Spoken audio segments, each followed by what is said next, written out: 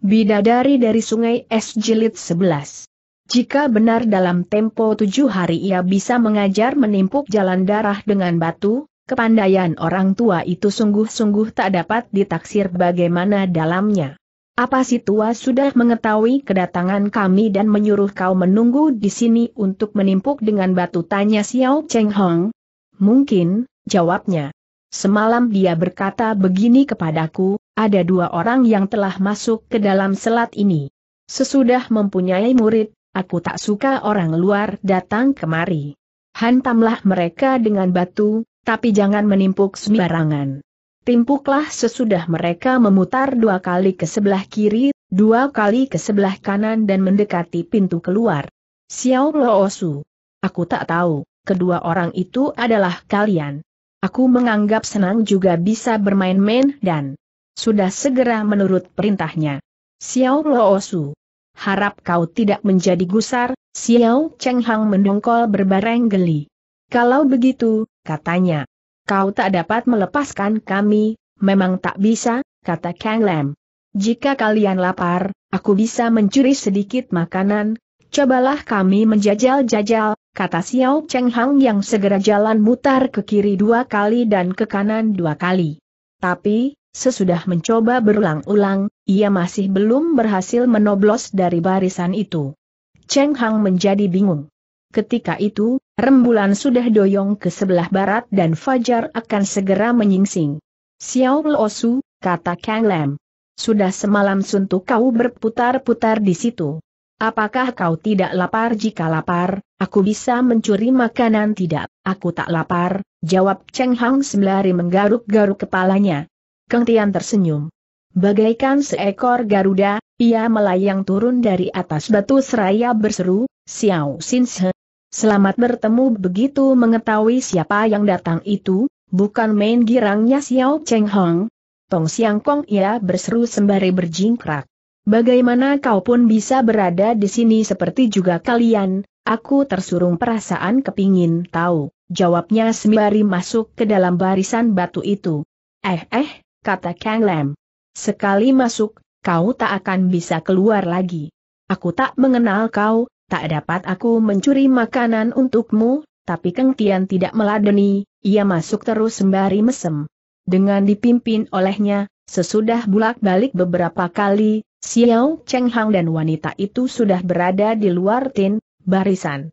Keng Lem membuka matanya lebar-lebar. Ha, katanya. Tak nyana, kau berkepandaian begitu tinggi. Siapakah Xiao Cheng Hang tertawa dan berkata, dia adalah orang yang pernah menolong Kong Cumu, aku tahu Kang Lam putuskan perkataan orang. Kau tentu Tong Keng Tian. Tong Siang Kong, Xiao Ya pernah menceritakan halmu kepadaku. Kata Xiao Ya, Tian San Kiam Hoatmu, tak ada bandingannya di dalam dunia.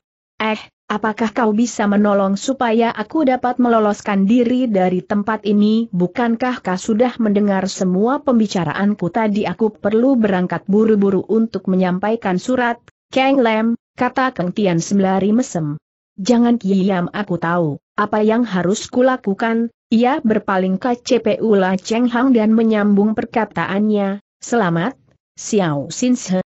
Lagi kapan kau menikah tahun yang lalu? Sesudah pulang ke Sengtou, aku lalu mempersatukan diri pula ke dalam partai Cheng Xiapei. Cheng Hang menerangkan. Dia juga berada di Sengtou, menunggu aku, sesudah berkata begitu, ia lalu memperkenalkan istrinya kepada Keng Tian. Istri Xiao Cheng Hang adalah adik misanannya sendiri yang bernama Gou Chiang Xian. Sebagai kawan bermain semenjak kecil, Chiang Xian mencintai Cheng Hong, tapi ia selalu mengumpatkan rasa cintanya, karena Cheng Hang sudah jatuh cinta kepada Chia Chin. Setelah terjadi pertemuan di Keraton S, Xiao Cheng Hang mengetahui bahwa orang yang dicintainya itu sudah menikah dengan Tia Koaisian dan bahwa Gou Chiang Xian masih menunggu ia. Begitu kembali ke Sengtou, ia segera meminang adik misanannya itu dan mereka lalu menikah. Di waktu menikah, Xiao Cheng Hang sudah berusia 40 tahun lebih. Ke mana kalian mau pergi tanya Keng Tian? Kenapa lewat di sini tahun yang lalu, aku dan Tian Oe telah mendaki Nyencin Dangla, bertemu dengan Pengcoan Tian Lie dan mengetahui bahwa Nona itu adalah putri Kui Hoa Seng, Cheng Hang menerangkan. Sesudah pulang sebenarnya aku ingin sekali segera pergi menemui Moh Choan Seng Lo Chiam Poe untuk menyampaikan warta girang itu. Akan tetapi, karena repot, belum juga aku dapat mewujudkan niatan itu, Xiao Lo Osuk Kang Lem mendadak menyeletuk.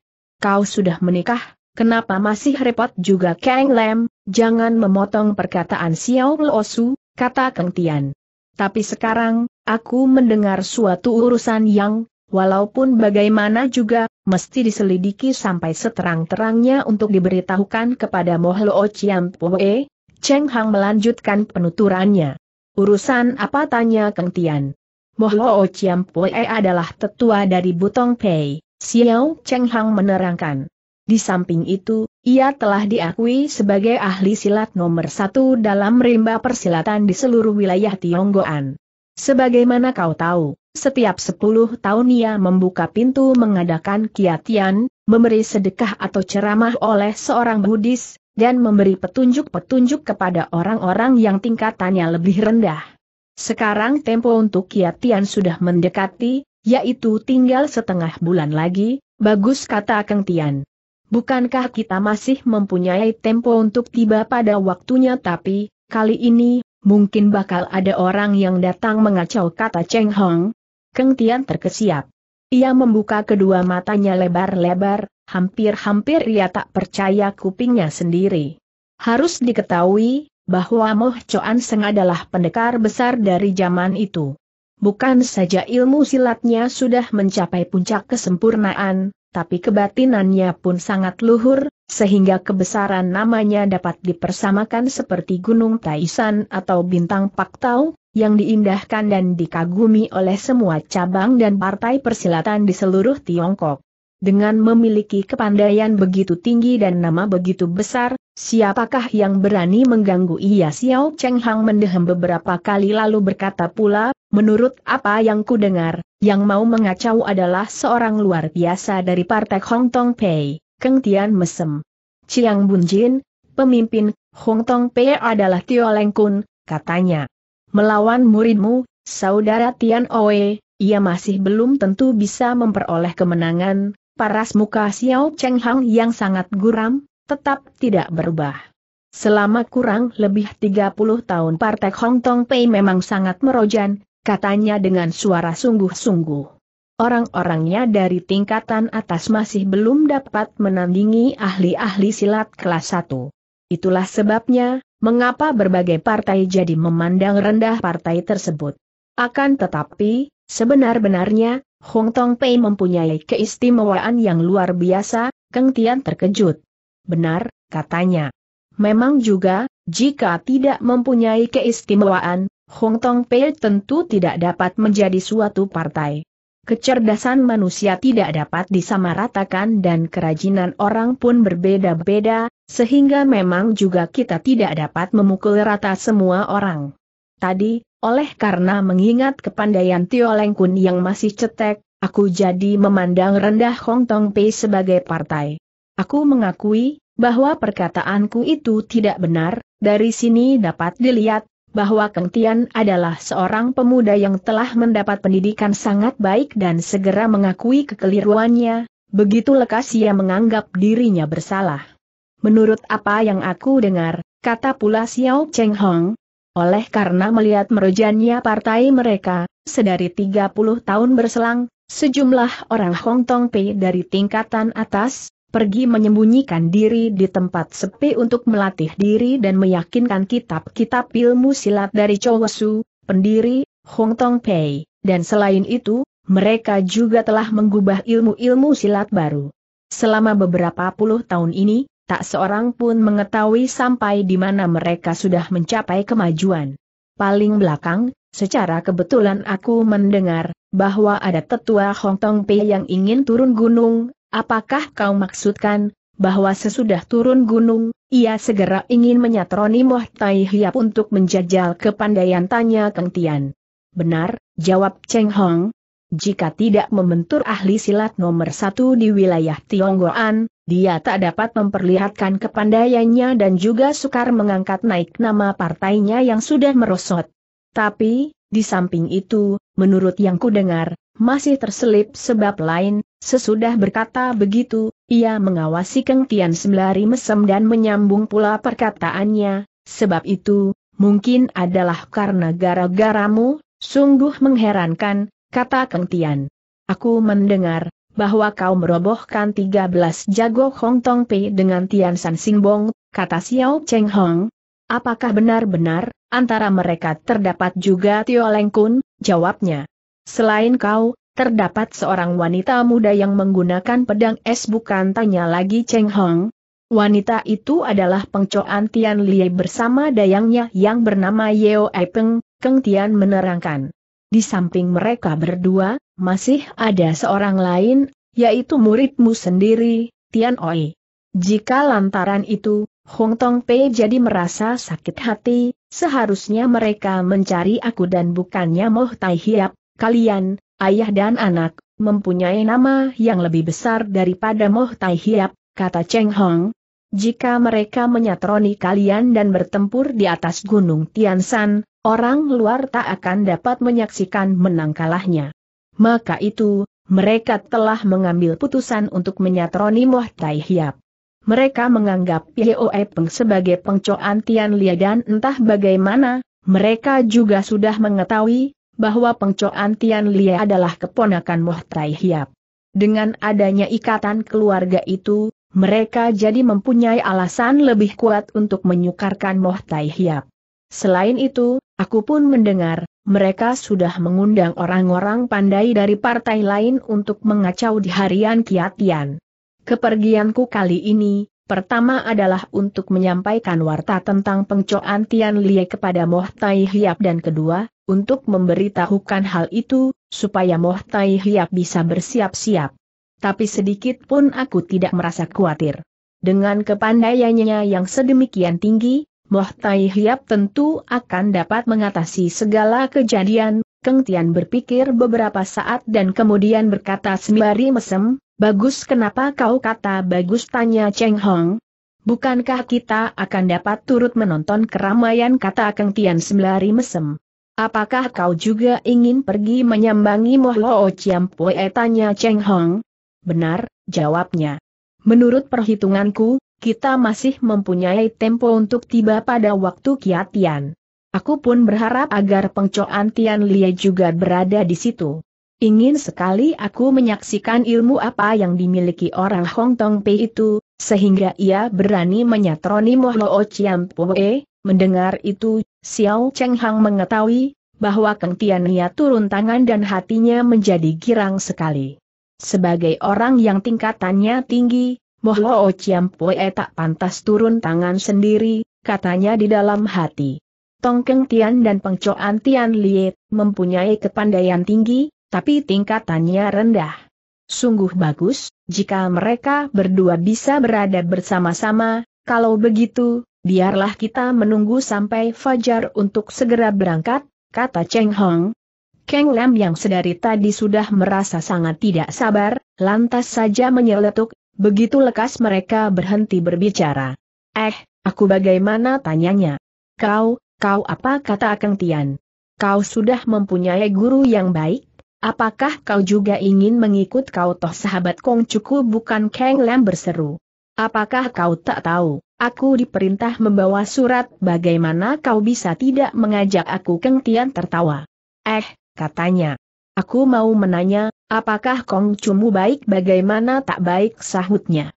Sehari makan tiga kali gila kau bentak Keng Tian. Aku mau menanya, bagaimana dengan putri? Towesu apalagi jawab Kang Lem sembari nyengir. Setiap hari berhias, seperti sundal saja. Dari pagi sampai malam, kerjanya memburu. Saban hari lewat di depan kantoran. Karena takut kesomplok, siang hari malam, Xiao Ya selalu bersembunyi di dalam, sejenak pun tak berani keluar. Agaknya Xiao Ya takut digigit sehabis berkata begitu, ia tertawa terbahak-bahak, sehingga semua orang jadi turut tertawa. Kalau begitu, pernikahan mereka sudah tetap, bukan tanya Keng Tian. Tidak, tidak. Kong Chu menolak keras, jawabnya. Tapi, tapi sekarang sudah ada ketetapannya, antara To Wisu dan Lo Oya. Si To Wisu yang mendesak terus, supaya Lo Oya meluluskannya. Lain tahun musim semi, jika kuil lama yang sedang dibuat sudah rampung, aku mendengar, bakal datang seorang Buddha hidup dari agama topi putih untuk meresmikan pembukaan kuil tersebut. Pada waktu itu, Wusu ingin minta bantuan Buddha hidup untuk menikahkan mereka. Hektometer. Kongcu tentu tak bisa berkelit lagi, hati Keng Tian berdebar-debar. Tian Oe tak dapat melupakan Cena, tapi ia tentu tak tahu, Nona itu sekarang sudah menjadi wanita suci, pikirnya. Lain tahun di musim semi, ia akan mengikut Raja Agama Sekte Topi Putih datang di Lasa untuk meresmikan pembukaan kuil, ketika itu Fajar sudah menyingsing dan sinar matahari pagi sudah menembus ke dalam hutan batu itu. Apakah sekarang kita sudah boleh berangkat tanya Cheng Hong? Eh, ajak aku kata Kang Lam. Baiklah, sahut Keng Tian. Sebelum berangkat, Aku minta kau mengajak kami pergi menemui gurumu untuk berpamitan. Perlu apa berpamitan kata Kang Lam. Jika pamitan, dia tentu menghalangi, mendadak saja, dari jauh terdengar suara seorang tua, orang berilmu dari manakah yang sudah penuju dengan muridku yang tolol itu suara itu tidak keras tapi tajam dan mengeluarkan suara ung-ung, di waktu gelombangnya membentur hutan batu. Dengan hati mencelos, Kang Lam buru-buru bersembunyi di belakang Keng Tian yang lalu merangkap kedua tangannya seraya berkata, Aku yang muda adalah Tong Keng Tian yang sudah kesalahan masuk ke dalam tempat dewa-dewa ini. Mohon Lo Chiam Poe suka memberi maaf, suara Keng Tian juga tidak besar, tapi nyaring, seolah-olah tikaman pedang ke dalam hutan batu itu, yang segera berkumandang, setelah dibentur gelombang suara. Baru saja ia mengucapkan perkataannya, dengan sekali berkelebat, di hadapan mereka sudah berdiri seorang Toosu, imam, yang paras mukanya aneh dan mengenakan jubah pertapaan warna kuning. Keng Lam gemetar sekujur badannya, ia mepet di belakang Keng Tian, tanpa berani menongolkan kepala. Selama beberapa puluh tahun, Chuan adalah orang satu-satunya yang bisa keluar dari barisan batu ini, katanya. Orang yang pandai tidak perlu meminta maaf. Sesudah bisa keluar dari barisan batu, kau tentu mempunyai kepandaian untuk membawa pergi muridku yang tolol. Baiklah. Kau boleh membawa dia pergi Keng Tian terkejut. Dari perkataannya, imam itu ingin mengukur kepandaiannya. Waktu Toosu itu pertama bicara, karena teraling puncak-puncak, Keng Tian tidak mengetahui persis di mana ia berada, tapi bisa ditaksir, ia sedikitnya terpisah seratus tombak. Dan hampir berbareng dengan suaranya, manusianya sudah tiba di hadapannya. Dari sini, Keng Tian mengetahui, bahwa imam itu mempunyai kepandaian yang sangat tinggi. Sebagai penjagaan, ia menarik napas dalam-dalam untuk mengerahkan tenaga Hian Kong dari Tian San Pei. Jika demikian, katanya sembari membungkuk. Sesudah urusanku beres, aku tentu akan datang lagi di sini guna menyampaikan hormat. Sembari menuntun tangan Kang Lam, perlahan-lahan ia berjalan keluar dari hutan batu. Toosu itu mencekal hudetim, kebutan, dalam tangannya. Melihat tetamunya berangkat, tanpa menggerakkan badannya, ia mengebut dengan hutimnya dan berkata, sebelum mempunyai sayap, bocah nakal itu sudah ingin terbang. Chuan harus menilik ia secara keras sebagai seorang yang sudah menyelami ilmu Tian San Pei. Keng Tian mempunyai perasaan yang luar biasa tajamnya. Kebutan itu, yang sebenarnya sangat perlahan, sudah dapat didengar olehnya, dan lebih dari itu, tanpa menengok, ia juga mengetahui, bahwa beberapa helai benang Hutim sedang menyambar jalan darah Kang Lam dan ia sendiri. Dengan perkataan lain, Si Toosu dapat menggunakan benang-benang yang begitu halus seperti semacam jarum untuk menusuk jalan darah musuh. Dapat dibayangkan, bahwa seorang yang tidak mempunyai ketajaman seperti Keng Tian, tidak akan dapat mengelakkan serangan itu yang tidak ada suaranya dan hampir tak kelihatan bahayanya. Bagaikan kilat Keng Tian meloncat dan menarik tangan Kang Lem sambil berkata, hati-hati. Ada batu, dengan demikian, semua benang hutim itu menyambar ke badannya. Akan tetapi, walaupun sudah berjaga-jaga dengan mengerahkan tenaga Hian Kong, tak urung ia merasa kesemutan di beberapa jalan darahnya, seperti digigit semut. Tenaga dalam Toosu itu sungguh hebat, katanya di dalam hati. Meskipun belum bisa menandingi Hui Hoa Cekiap, bunga terbang memetik daun, Ieku, ilmunya masih lebih tinggi daripada aku, mana ada batu tanya Kang Lam yang tidak mengetahui, bahwa tanpa pertolongan Keng Tian, kedua dengkulnya tidak akan dapat digunakan lagi. Kang Lam, kata Keng Tian. Haturkan terima kasih kepada gurumu ia mengetahui, bahwa sebagai seorang yang berkepandaian tinggi, si Toosu pasti tidak akan menyerang dua kali kepada bocah yang menjadi muridnya sendiri.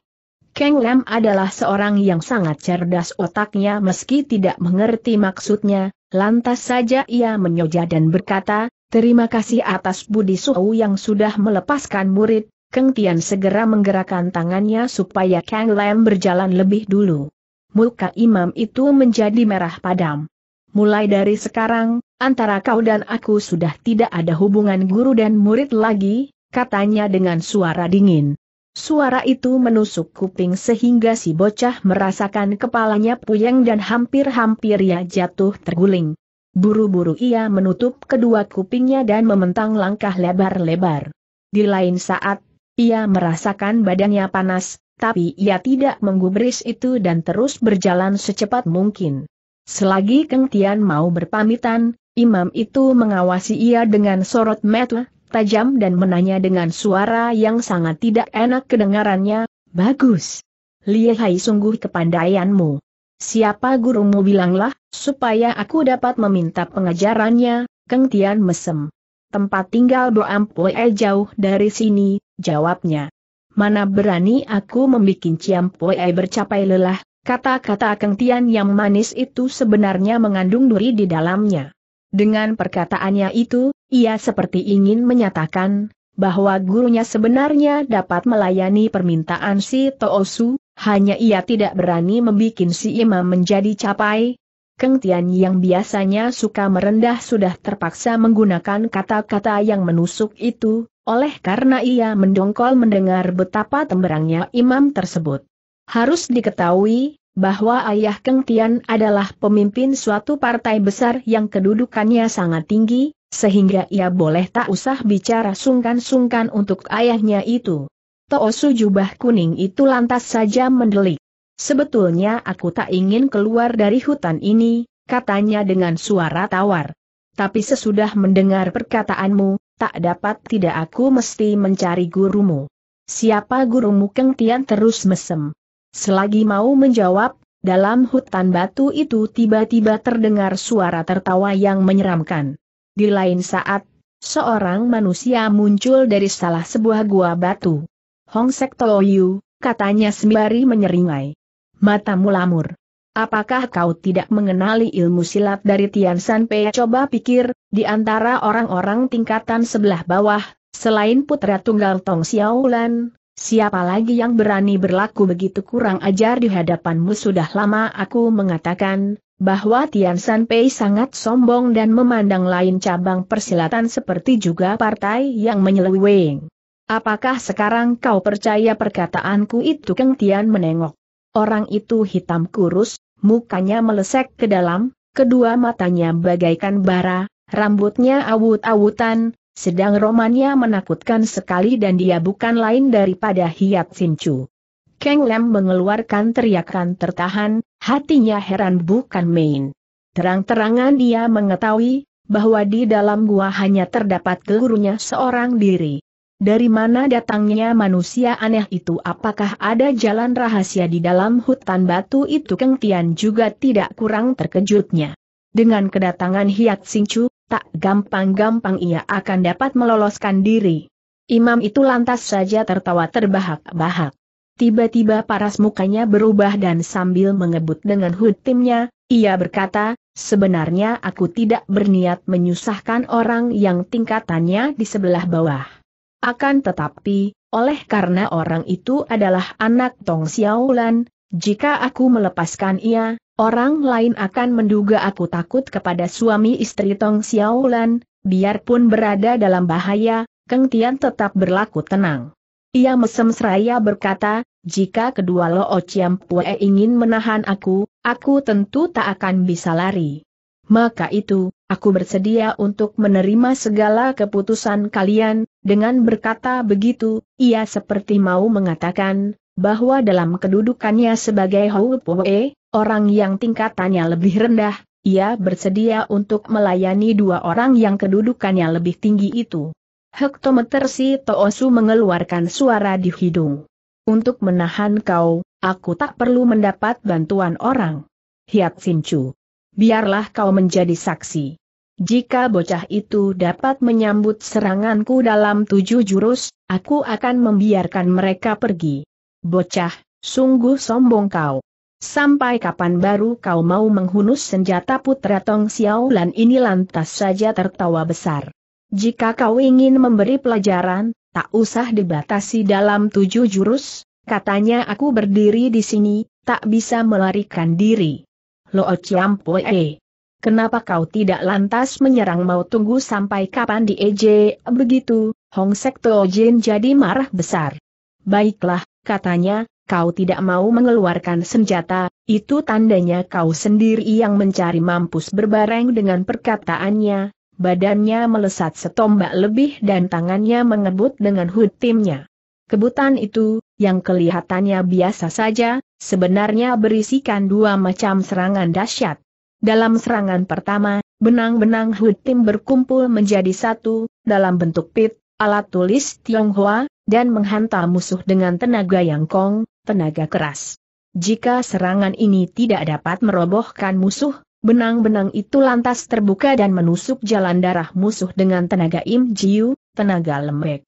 Kedua serangan itu hebat luar biasa dan tak akan dapat ditangkis oleh ahli silat yang tanggung-tanggung.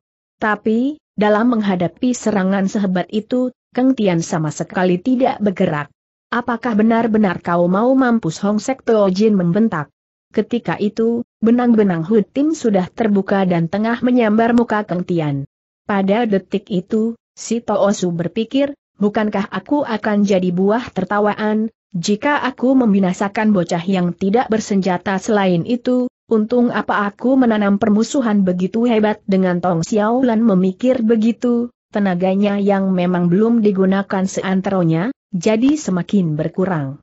Tapi, biarpun begitu, jika kena dikebut, Keng Tian pasti akan bercacat seumur hidupnya, meski tidak mati seketika. Bagaikan kilat, ribuan benang itu menyambar pada saat yang sangat berbahaya. Tiba-tiba Keng Tian membuka mulutnya dan meniup sekeras-kerasnya, sehingga benang-benang itu tersapu buyar. Tenaga dalam Hong Sek Jin banyak lebih tinggi daripada Keng Tian, tapi dalam serangannya itu, ia hanya menggunakan separuh tenaganya.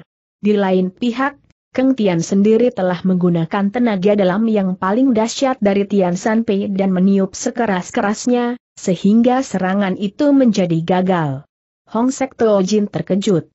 Dengan sekali membalik tangan, ia membuat ribuan benang itu serentak berdiri dan seperti jarum-jarum tajam, menyambar ke arah tenggorokan dan mata Keng Tian.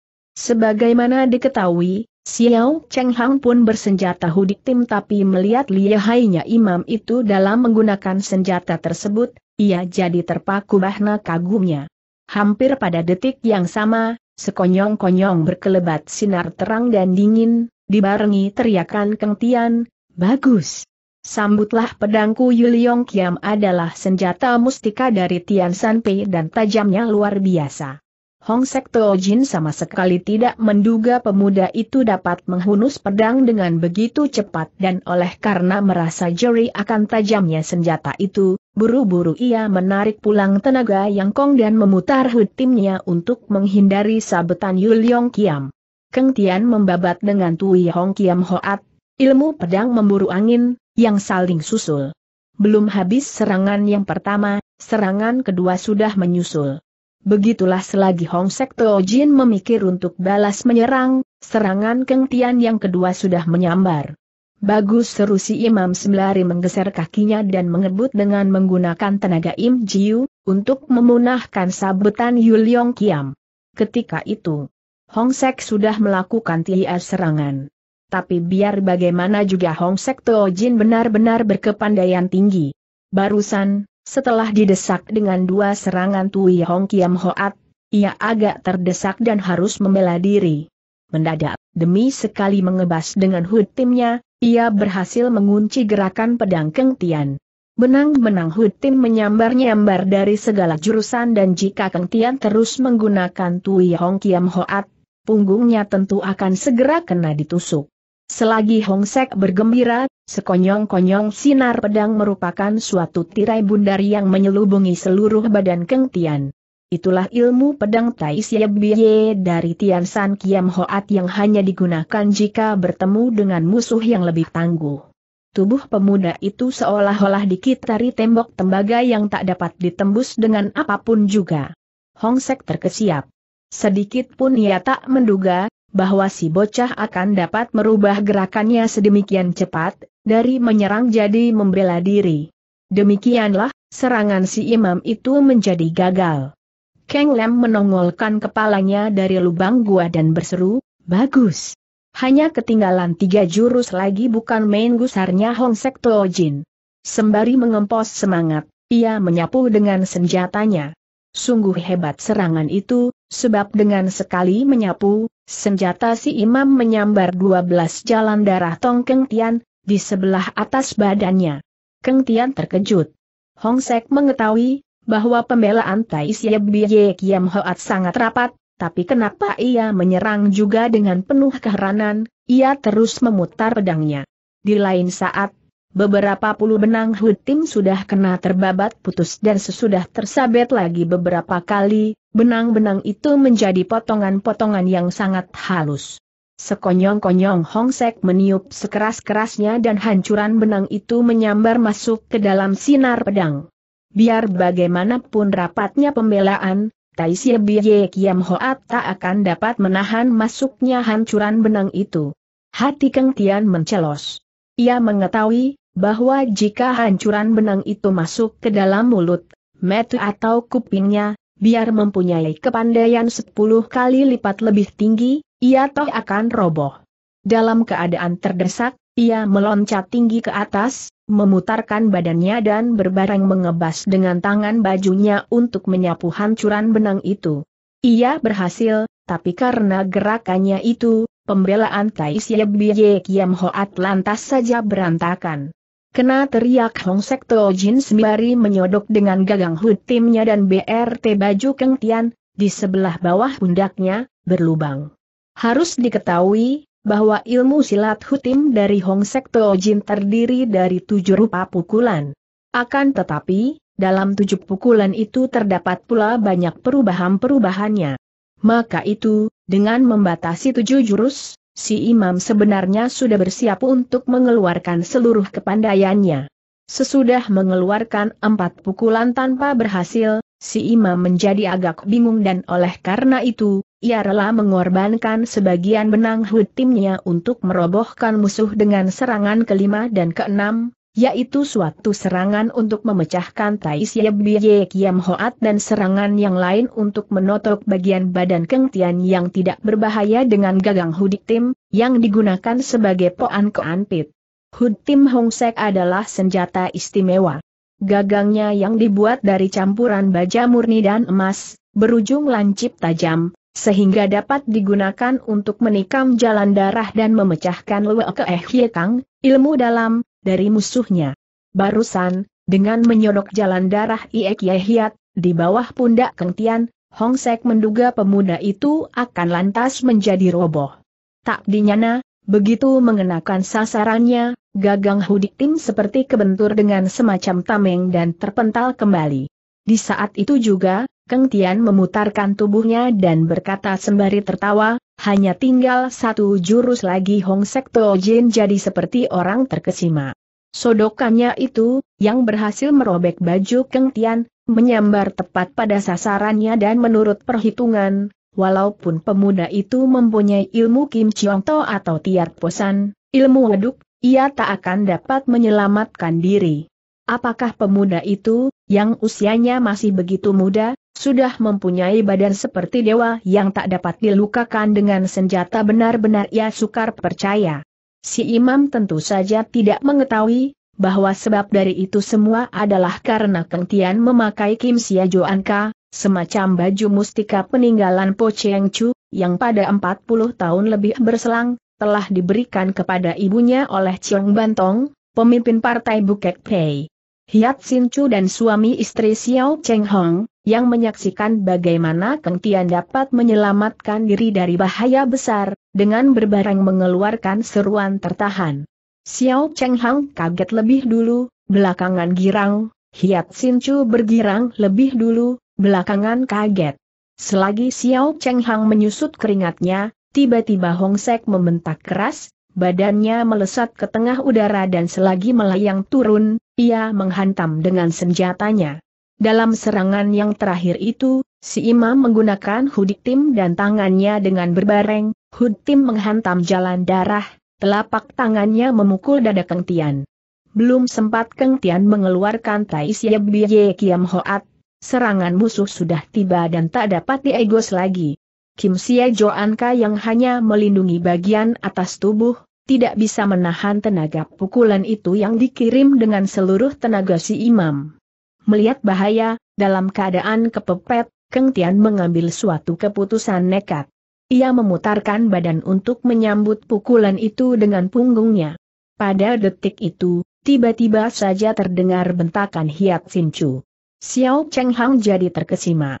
Dalam menyambut pukulan Hong Sek dengan seluruh tenaganya, belum tentu Keng Tian bisa berhasil. Siapa yang tidak kaget melihat serangan Hiat Sincu pada saat yang berbahaya itu dan pada detik, sedang jiwa Keng Tian tergantung atas selembar rambut, mendadak terdengar teriakan Hiat Sincu. Berbareng dengan itu, Hong Sek bergidik dan tenaga pukulannya lantas saja berkurang banyak. Sungguh gesit gerakan Tongkeng Tian.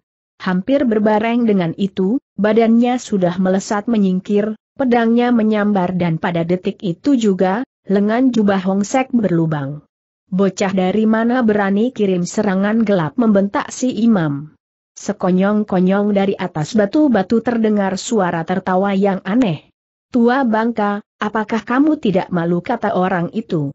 Dua tua bangka mengerubuti satu bocah. Hahaha Kengtian mendonak, mengawasi. Di atas sebuah batu kelihatan bersilah seorang pemuda yang bukan lain daripada Kim Siaie dan tak jauh dari situ, terdapat pengcoan Tian Lie bersama dayangnya. Agaknya selagi pertempuran berjalan hebat-hebatnya, sedang perhatian semua orang ditujukan ke arah pertempuran itu, mereka bertiga sudah datang dengan diam-diam. Teriakan Hiat Sincu dan bergidiknya Hong Sek Jin disebabkan oleh senjata rahasia Kui Penggol dan si penderita kusta. Si imam merasakan dadanya mau meledak. Dengan sekali menjejek kaki, ia meloncat ke atas untuk mencengkeram Kim Siaie. Satu bocah saja kau masih belum dapat menjatuhkan, kata si pengemis sembari menyengir. Guna apa aku meladeni kau ia meloncat bangun dan bagaikan seekor kera, ia memanjat puncak batu dan dalam sekejap, ia sudah berada di garisan luar. Selagi si imam mau mengubar, sekonyong-konyong terdengar teriakan kesakitan dari Hayat Sincu. Ia menengok dan melihat muka kawannya bersemu hitam, sebagai tanda sudah terkena senjata beracun. Oleh karena merasa bahwa seorang diri belum tentu ia dapat melayani beberapa lawannya, lantas saja ia mengurungkan niatannya untuk mengubar Kim Siai dan kembali untuk menolong Hiat Sincu. Tujuh jurus sudah lewat, sekarang aku berangkat, kata Keng Tian. Hektometer gerendeng si imam yang sedang berjongkok untuk memeriksa luka Hiat Sincu. Sesudah mengucapkan beberapa perkataan merendah seperti lazimnya dalam dunia Kangou, dengan terburu-buru Keng Tian lari keluar hutan batu itu dengan menggunakan ilmu mengentengkan badan. Mengubar belum berapa lama, ia melihat penggod bersama dayangnya berjalan di sebelah depan, sedang Kim Cie mengikuti dari belakang. Penggol Cie Cie. Penggol Cie Cie teriak Keng Tian. Si Nona menengok dan mengawasi dengan sorot metu gusar dan sedih. Penggol cie-cie Keng Tian berseru pula. Berhentilah sebentar. Dengarkanlah dulu beberapa perkataanku, pencoan Tian Lie tidak meladeni. Sebaliknya dari menghentikan tindakannya, sembari menuntun tangan Yeo Peng, ia berlari semakin keras. Penggol cie-cie teriak Keng Tian pula dengan suara menyayatkan hati. Berhenti dulu. Dengar dulu perkataanku Kim Ie tertawa berkakakan. Ia berhenti berlari, membalikan badannya dan menghadang di tengah jalan. Begitu Keng Tian datang dekat, ia menyembur dengan ludahnya. Siapa kesudian mendengarkan segala ocehanmu ia membentak. Keng Tian naik darah. Minggir ia membentak. Kim Ie tertawa besar. Sambil mementang kedua tangannya, ia berteriak, tak tahu malu. Mengudak-udak gadis orang Keng Tian tak dapat menahan sabar lagi. Sekali ia mengayun tangan, sebatang Tian San Sinbong menyambar Kim Ie. Di waktu pertama kali bergerak, si pengemis sudah mengenal Yahainya Sinbong. Sesudah mengerahkan tenaga Hian Kong tujuh hari lamanya, baru ia dapat menyembuhkan luka akibat serangan senjata rahasia itu. Karena itu, sekali ini ia berwaspada. Begitu melihat sambaran Sinbong, ia menjungkir balik, badannya melesat tiga tombak lebih dan berbareng, menyampok. Dengan tongkatnya, tering, lelatu api melentik dan senjata rahasia itu kena tersampok jatuh. Dengan sekali berjungkir balik lagi, Kim Sia Ie sudah menghadang pula di tengah jalan. Si Nona sudah lari jauh sekali, katanya, mengejek.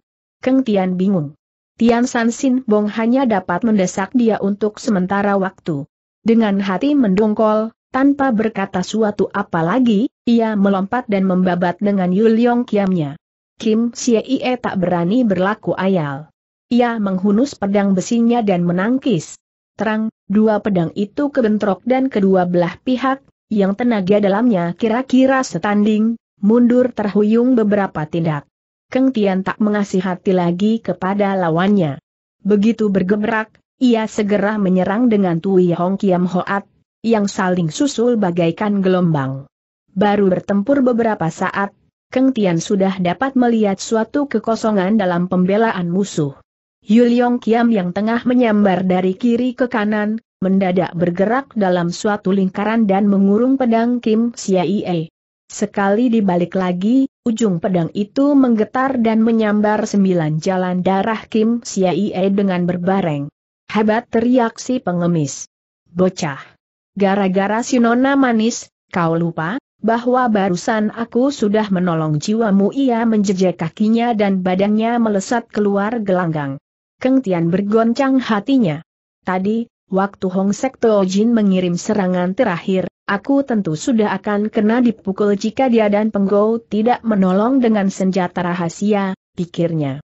Biarpun aku mempunyai Joanka dan jika terluka, masih mempunyai Tian San Soat Lian untuk mengobatinya, tapi budi mereka tak dapat diabaikan begitu saja, memikir begitu, lantas saja ia menarik pulang Yuliong Kiam dan membentak, baiklah. Belum lama berselang, tanpa sebab kau sudah melukakan aku, sehingga hampir-hampir aku terbinasa. Hari ini, mengingat pertolonganmu, sakit hatiku sudah dibayar impas olehmu. Sekarang, kau minggirlah. Di kemudian hari, kita masih bisa bersahabat, Kim Ie mengawasi dan sesudah mengeluarkan tertawa aneh, ia berkata, siapa kesudian menjadi sahabatmu bocah tak kenal malu. Sedikit pun kau tidak mengenal adat istiadat dalam kalangan Kangou, apa menegas Keng Tian. Aku tak mengenal adat istiadat dalam kalangan Kangou siapakah yang kau maki cacian itu sungguh tepat untuk ditujukan kepada alamatmu aku memaki kau bentak Kim Ie. Jika tidak dijelaskan, kau tentu masih penasaran. Aku mau menanya, menurut adat istiadat kalangan Kangou, bukankah ada nasi sama-sama makan, ada pakaian sama-sama memakai dan sudah punya tak boleh merampas milik orang bukankah begitu benar? Jawab Keng Tian. Orang-orang dari jalanan hitam sangat memperhatikan kebiasaan itu, bagus kata si pengemis. Kau sudah mempunyai nona dari keluarga CE itu, tapi kenapa masih juga ingin mengudak-udak nona kuiha? Tak sudi aku menjadi sahabatmu. Aku sudah menganggap Nona Kui sebagai sahabatku. Kau sendiri sudah punya satu, tapi masih mengubar-ubar sahabat orang lain. Bukankah perbuatan itu perbuatan tak mengenal adat istiadat Kangong Tong Keng Tian adalah seorang pemuda dari keluarga baik-baik yang telah mendapat pendidikan yang baik pula. Seujung rambut pun, ia tidak menduga bahwa ia akan mendengar perkataan itu. Ia kemek-mek, untuk sementara ia tak dapat menjawab. Si pengemis lantas saja mengeluarkan tertawanya yang menyeramkan dan berkata pula, benar atau tidak perkataanku apakah kau sudah merasa bersalah jangan ngaco Keng Tian membentak dengan gusar sekali. Jika kau bicara lagi yang tidak-tidak, tanpa sungkan-sungkan aku akan mengutungkan kepalamu apakah kau mampu tanya si pengemis dengan suara mengejek. Keng Tian jadi gelap mata. Bagaikan kilat, ia menyabet dengan Yuliong Kiamnya. Kim Siei melayani dengan saban-saban menengok ke belakang. Agaknya ia ingin menunggu sampai pengcoan Tian Lie sudah pergi cukup jauh, baru ia ingin menghentikan pertempuran itu. Keng Tian gusar dan bingung. Ia menyerang secara hebat, tapi karena kepandaian mereka kira-kira berimbang, maka sedikitnya untuk sementara, ia tak dapat meloloskan diri. Sekarang Keng Tian menumplek semua kemendongkolannya di atas kepala Kim Siaie. HRA katanya di dalam hati. Kalau begitu, dia yang menjadi setan, dengan gergetan, lantas saja ia menyerang dengan pukulan-pukulan Tian San Kiam Hoat yang paling lihai. Kim Siei memutarkan pedangnya bagaikan titiran dan menutup rapat-rapat dirinya dengan sinar pedang, sehingga sesudah lewat seratus jurus lebih, belum juga ada yang keteter. Sementara itu, suami istri Xiao Cheng Hang dan Kang Lem sudah menyusul. Mereka terkejut melihat pertempuran yang lebih hebat daripada pertarungan antara Keng Tian dan Hong Sek Jin. Tiba-tiba sembari membentak keras, Keng Tian mengirimkan tiga serangan dengan berbareng. Tangan kirinya mengait tongkat Kim Siaie, kaki kanannya menendang, sedang Yuliong Kiam menikam ke arah jantung. Menurut perhitungannya, dengan tiga serangan hebat itu, walaupun tidak menjadi mati, si pengemis pasti akan terluka berat. Pada detik itu, berbareng dengan terdengarnya tertawa aneh, Kim Siaie berjungkir balik dan menyemburkan ludah lendirnya. Untuk seorang wanita, kau mati-matian ia memaki. Apakah ada harganya bocah? Aku sungguh kasihan kepadamu. Baiklah, kakekmu mengizinkan kau lewat, berhubung dengan berjungkir baliknya, Kim Siei berhasil mengelakkan bahaya. Yuliong Kiam menikam tempat kosong, tapi kaki kanan Keng Tian berhasil menendang tongkat si pengemis yang lantas saja terbang ke tengah udara. Pada saat yang sangat berbahaya itu, dengan meminjam tenaga terpentalnya tongkat itu, badan Kim Siei turut melesat ke udara dan menangkap tongkatnya yang sedang melayang turun.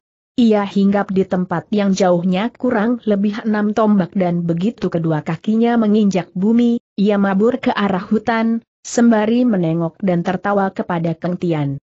Dengan gergetan, Keng Tian mengeluarkan sebatang Tian San Singbong, tapi sebelum ia sempat menimpuk, Kim Sia Ie sudah meloncat ke sebuah pohon besar dan naik ke atas bagaikan seekor kera dan di lain saat, ia sudah tak kelihatan bayang-bayangannya lagi.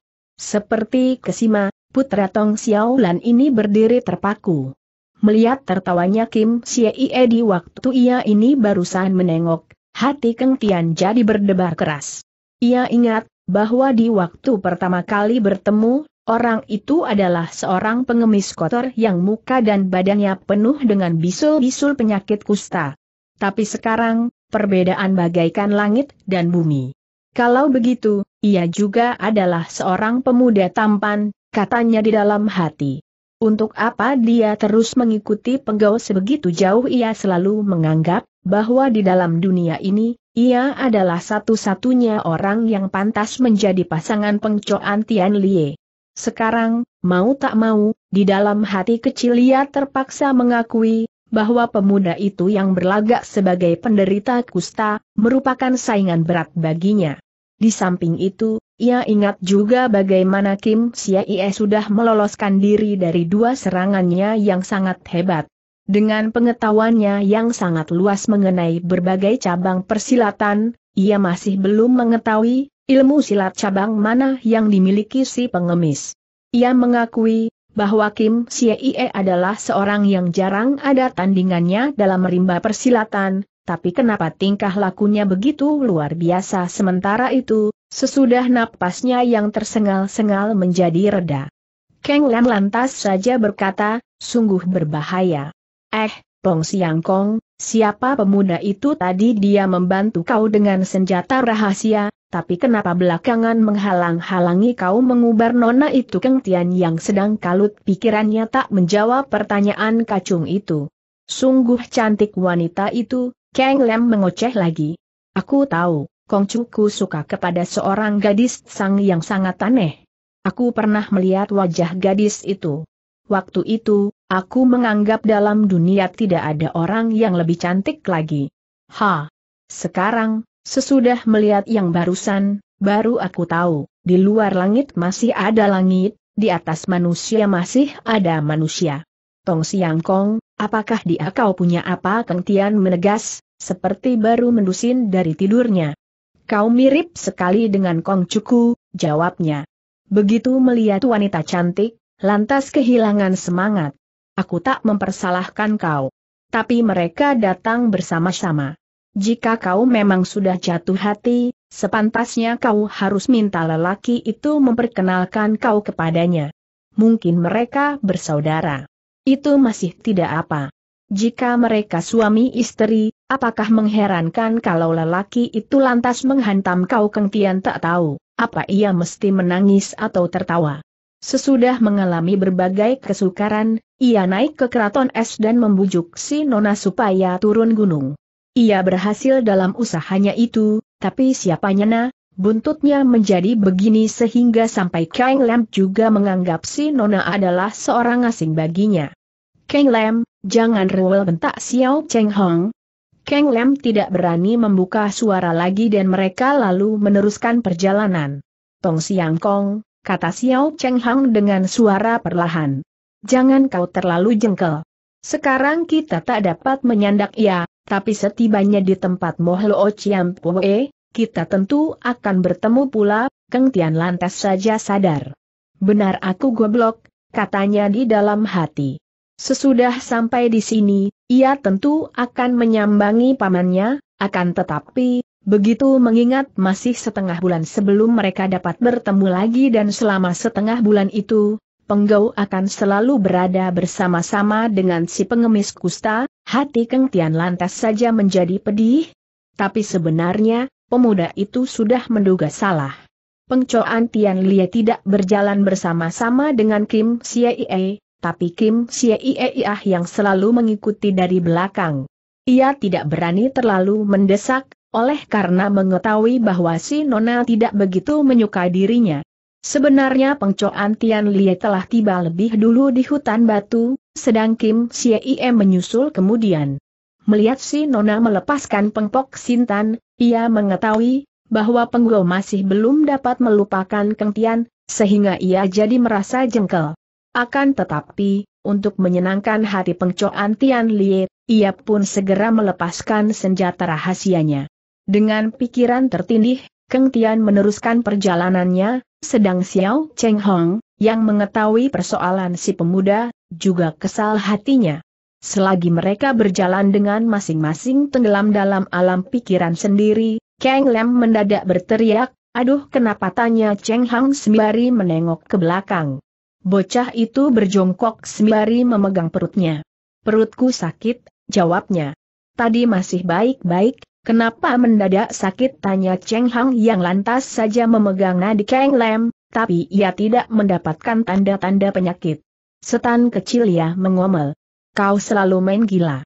Siapa mempunyai tempo untuk melayani kegila-gilaanmu kita mempunyai urusan penting dan perlu berjalan buru-buru, siapa yang main gila teriak Kang Lem benar-benar perutku sakit, Keng Tian segera mendekati dan memegang nadinya. Sesudah beberapa saat, muka pemuda itu menunjukkan perasaan heran dan kaget.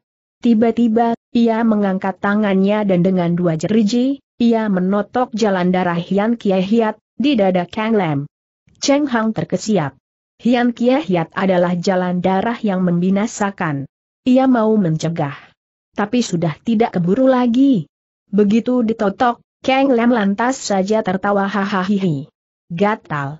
Gatal ia berteriak. Aku paling takut kegatalan. Tong Siang Kong, ampun perutmu masih sakit tanya Keng Tian. Ih, heran sungguh. Sekarang tak sakit lagi, jawabnya. Keng Tian mesem sambil menotok pundak Kang Lem dengan dua jerijinya. Cheng Hang mengetahui bahwa yang ditotok adalah jalan darah Tong Hai Hiat, yang jika diurut, dapat melemaskan urat dan menjalankan darah. Menurut kebiasaan rimba perdilatan, jika seseorang kena ditotok jalan darahnya dan jalan darah itu untuk sementara masih belum dapat dibuka, maka orang itu biasanya minta salah seorang kawannya untuk menotok Tong Hai Hiat guna menjalankan aliran darah di lain-lain bagian badannya, untuk mempertahankan diri sementara waktu. Maka itu, totokan Tong Hai Hiat ada baiknya dan tak ada jahatnya.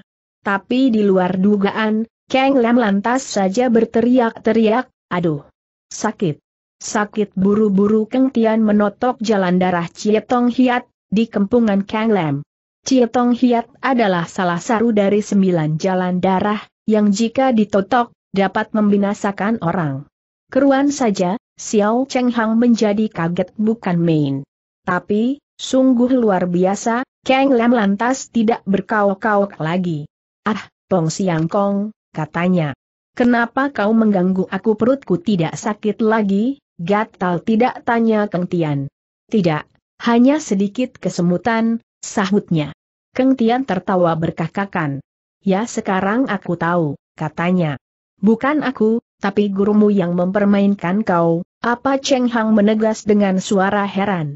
Apakah benar perbuatan si Toosu tua dengan kepandaiannya yang begitu tinggi dan kedudukannya sebagai guru, sedang ia sendiri sudah meluluskan, apakah benar ia masih main gila terhadap muridnya Keng Tian bersenyum. Sebenarnya tidak bisa dikatakan bahwa ia mempermainkan muridnya, katanya. Mungkin kejadian ini adalah karena untung Kang Lam yang baik, apakah yang kau maksudkan tanya pula Xiao Cheng Hong, yang tidak mengerti perkataan pemuda itu.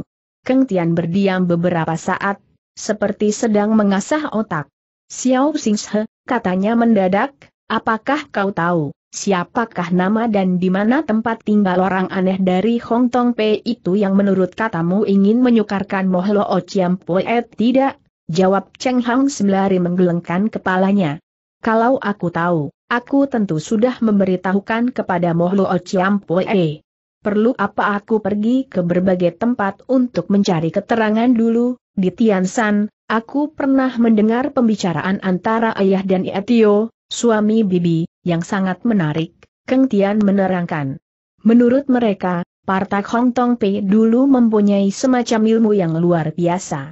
Dengan ilmu tersebut, seseorang dapat mengacaukan jalan darahnya sendiri. Maka itu, ia akan terus segar bugar, meskipun jalan darahnya yang membinasakan kena ditotok. Akan tetapi, orang yang mempunyai ilmu tersebut, harus berlatih terus seumur hidupnya. Jika ia berhenti, jiwanya terancam. Di samping itu, walaupun berlatih terus-terusan, belum dapat dipastikan, bahwa akhirnya ia tak akan masuk ke dalam jalan yang menyeleweng. Itulah sebabnya, mengapa belakangan orang sungkan mempelajari ilmu itu yang perlahan-lahan jadi tidak dikenal lagi, kalau begitu, kata Cheng Hong, Apakah ilmu yang diajarkan oleh si Toosu kepada Kang Lem, adalah ilmu yang kau maksudkan mungkin, mungkin sekali, jawabnya. Xiao Cheng Hang berdiam sejenak, kemudian ia berkata pula, jika memang demikian, apakah, walaupun perhubungan guru dan murid sudah diputuskan, seumur hidupnya Kang Lem harus terus-menerus berlatih ilmu tersebut Kang Lem baru saja tujuh hari menjadi muridnya, sehingga apa yang didapat olehnya baru hanya pelajaran permulaan, Keng Tian menerangkan. Seperti juga pelajaran lain-lain, untuk memperoleh kemajuan, ilmu itu harus dipelajari dengan perlahan, di bawah pimpinan guru yang pandai. Mengenai Kang Lam, baik juga ia baru saja memperoleh sedikit pelajaran, sehingga biarpun ada akibatnya, akibat itu hanya merupakan sakit perut, sakit miang dan sebagainya. Jika ia sudah belajar lama dan pelajaran dihentikan mendadak, akibatnya tentu akan hebat sekali, mungkin ia akan binasa, atau sedikitnya, menjadi orang bercacat. Maka itu, selama beberapa ratus tahun ini, dalam partai Hong Tong Pei, orang yang mempelajari ilmu itu tidak pernah keluar dari rumah perguruan. Kalau begitu, kata Xiao Cheng Hong, apakah kau maksudkan, bahwa Kang Lam harus kembali lagi dan seumur hidupnya harus menemani siluman tua itu tidak teriak Kang Lam. Biarpun harus mati, aku tak akan kembali. Tong Siang Kong, tolonglah aku Keng Tian tertawa. Tak kembali juga boleh, katanya sembari tertawa. Hanya setiap hari kau harus menderita sakit perut sejam lamanya, tidak si bocah berteriak pula. Aku paling takut akan sakit perut. Perut sakit, makanan enak tak bisa masuk. Tong Siang Kong, aku tahu kau bisa menolong. Tolonglah. Aku akan menurut segala perintahmu, baiklah, kata Tong Keng Tian yang merasa sudah cukup menggoda kacung itu. Tapi aku ingin kau berjanji, bahwa sesudah sembuh, mulutmu jangan terlalu rewel, baik, baik, jawabnya, terburu-buru. Sesudah sembuh, orang menanya sepatah, aku menjawab setengah patah, Keng Tian tak tahan untuk tidak tertawa terbahak-bahak. Ia menengok kepada Xiao Cheng Hang seraya berkata, itulah. Itulah sebabnya, mengapa aku mengatakan Kang Lem bagus untungnya. Sebagaimana kau tahu, Letioku telah mewarisi kitab ketabiban, peninggalan Po Cheng Chu, sehingga ia mahir dalam ilmu pengobatan. Dalam kitab tersebut terdapat suatu bagian yang membicarakan bahaya-bahaya akibat pelajaran ilmu silat. Menurut kitab tersebut, jika seseorang ingin menyelamatkan diri dari bahaya itu, jalan satu-satunya adalah melatih diri dalam ilmu wekang dari cabang persilatan yang murni.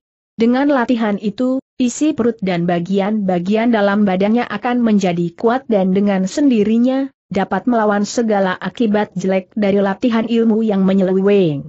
Maka itu, untuk menolong Kang Lam, aku harus menurunkan pokok-pokok pelajaran Luekang dari Tian San Pei. Bagus seru Kang Lam, kegirangan. Sekarang juga aku akan berlutut di hadapanmu, untuk mengangkat kau menjadi guru, berbareng dengan perkataannya, ia segera menekuk lutut. Keng Tian mencekal tangan si nakal, sehingga ia ini tak dapat meneruskan niatannya. Siapa mau mempunyai murid begitu ruwel kata Kang Tian sembari tertawa. Jangan begitu, kata Kang Lam, meringis. Aku toh sudah berjanji untuk tidak rewel-rewel lagi dalam menerima murid Tian San Pei memegang peraturan yang sangat keras, kata Kang Tian dengan paras sungguh-sungguh. Usiaku masih terlalu muda, sehingga tak dapat aku menerima kau sebagai murid. Selain itu, yang akan kuturunkan hanya pokok-pokok luekang, bukan ilmu pedang atau ilmu silat. Maka itu, kau tak dapat dipandang sebagai murid Tian San Pei. Kang Lam, kata Cheng Hang sembari tertawa. Dengan mendapat pokok-pokok luekang Tian San Pei, kau sudah mempunyai nasib yang bagus luar biasa. Kenapa kau tidak mengenal puas mendengar itu, Sinakal tidak berkata apa-apa pula. Ia manggut-manggutkan kepalanya dengan hati girang. Keng Tian yang merasa sangat suka terhadap anak yang cerdik itu, lebih dulu memberikan dua butir peklingtan yang dibuat dari Tian San Soat Lian, untuk memperkuat tubuh dan anggota dalam Kang Lam. Sesudah itu, baru ia menurunkan pelajarannya. Waktu itu, Kang Lam sendiri tidak mengetahui, bahwa ia telah mendapat suatu kefadahan yang tidak kecil. Sesudah memperoleh dasar-dasar ilmu aneh Hong Tong Pei dan tidak takut lagi akan totokan jalan darah, sekarang ia mendapat pokok luekang dari Tian San Pei. Dengan mempunyai dua dasar itu, tenaga dalamnya bertambah secara luar biasa. Walaupun ketika itu ia hanya mengenal ilmu silat yang sangat cetek dari Tantian Oe, tapi jika digunakan, dengan mudah ia akan dapat merobohkan ahli-ahli silat kelas 3 atau kelas 2 dari kalangan Kangou. Di belakang hari, benar saja Kang Lam telah menjadi seorang ahli silat yang kenamaan dan disegani. Oleh karena harus memberi pelajaran kepada si bocah, dalam tiga hari Keng Tian hanya dapat melalui seratus li lebih.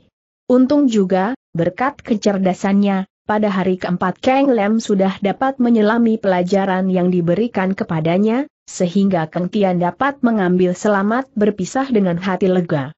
Kang Lem sendiri segera menuju ke timur untuk pergi ke Tiongkeng, dari mana, dengan perahu ia akan pergi ke Wuhan, akan kemudian langsung pergi ke kota raja untuk menyampaikan surat majikannya. Keng Tian bersama suami istri Xiao Cheng Hang meneruskan perjalanan ke Sucoan Selatan untuk kemudian mendaki Gunung Gobiye San dan menemui Moh Choan Seng. Sesudah berjalan 10 hari, Gobiye San yang agung dan angker sudah kelihatan di depan mata. Sebagai umumnya seorang yang sedang menderita penyakit asmara, di sepanjang jalan Keng Tian Lesu kelihatannya, tapi begitu mendekati Gobiesan, semangatnya terbangun karena mengingat bahwa saat pertemuan dengan Kui Penggau sudah dekat. Tapi saban kali teringat si penderita kusta, ia lantas menjadi lesu kembali.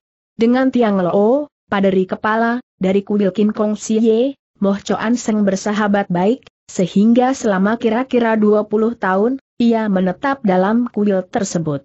Seperti juga yang lalu, kiatian kali ini pun diadakan dalam kuil itu, yang berdiri di puncak tertinggi, yaitu puncak emas dari Gunung Gobiye San di waktu Kengtian bertiga sampai di situ, kiatian sudah tiba waktunya dimulai.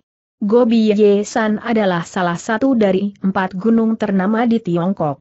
Tiga yang lain adalah Potosan di Chiatkang, San di Anhui dan Ngotai San di Soasai.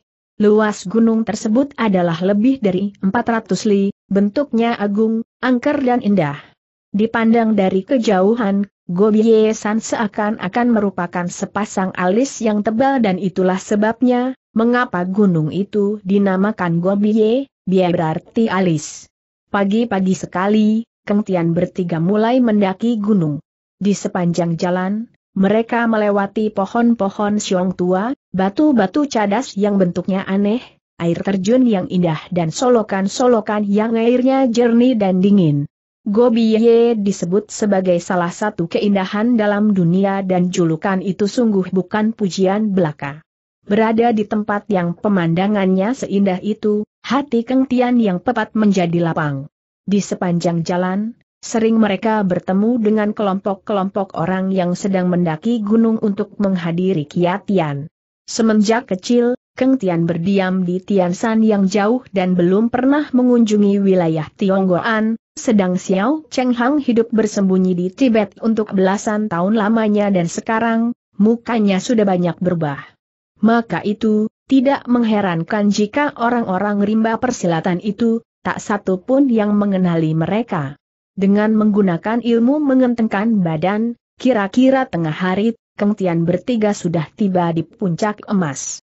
Dari tempat yang tertinggi itu, jika orang memandang keempat penjuru, ia akan melihat puncak-puncak di sebelah bawah yang bersusun tindih dan lautan awan putih yang tiada batasnya. Kim Kong Xie yang berdiri tegak di puncak itu, seakan-akan diselimuti awan tersebut.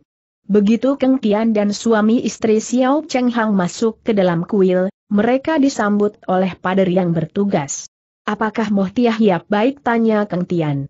Tolong kau memberitahukan bahwa keponakannya mohon bertemu dengan beliau, si paderi merangkap kedua tangannya dan berkata sembari tertawa, sudah tiga hari Moh Tai Hiap bersemedi, aku tak berani mengganggu ia.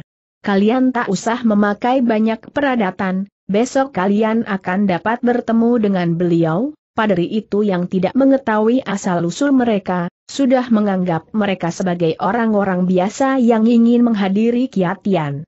Harus diketahui, bahwa karena kedudukannya yang sangat tinggi, di antara orang-orang yang berkunjung sebagian besar mengaku sebagai keponakan dan banyak juga yang ingin sekali dapat bertemu dengan Moh Choan Seng pribadi, sehingga, jika diladeni, orang tua itu akan menjadi repot sekali.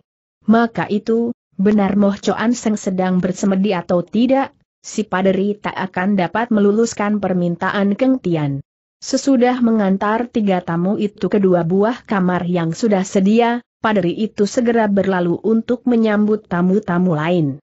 Moh Choan Seng adalah tetua Butong P dan orang yang paling banyak datang untuk menghadiri kiatian, adalah orang-orang partai tersebut. Entah dari mana, mereka juga rupanya sudah mengendus, bahwa kiatian kali ini bakal dikacau orang.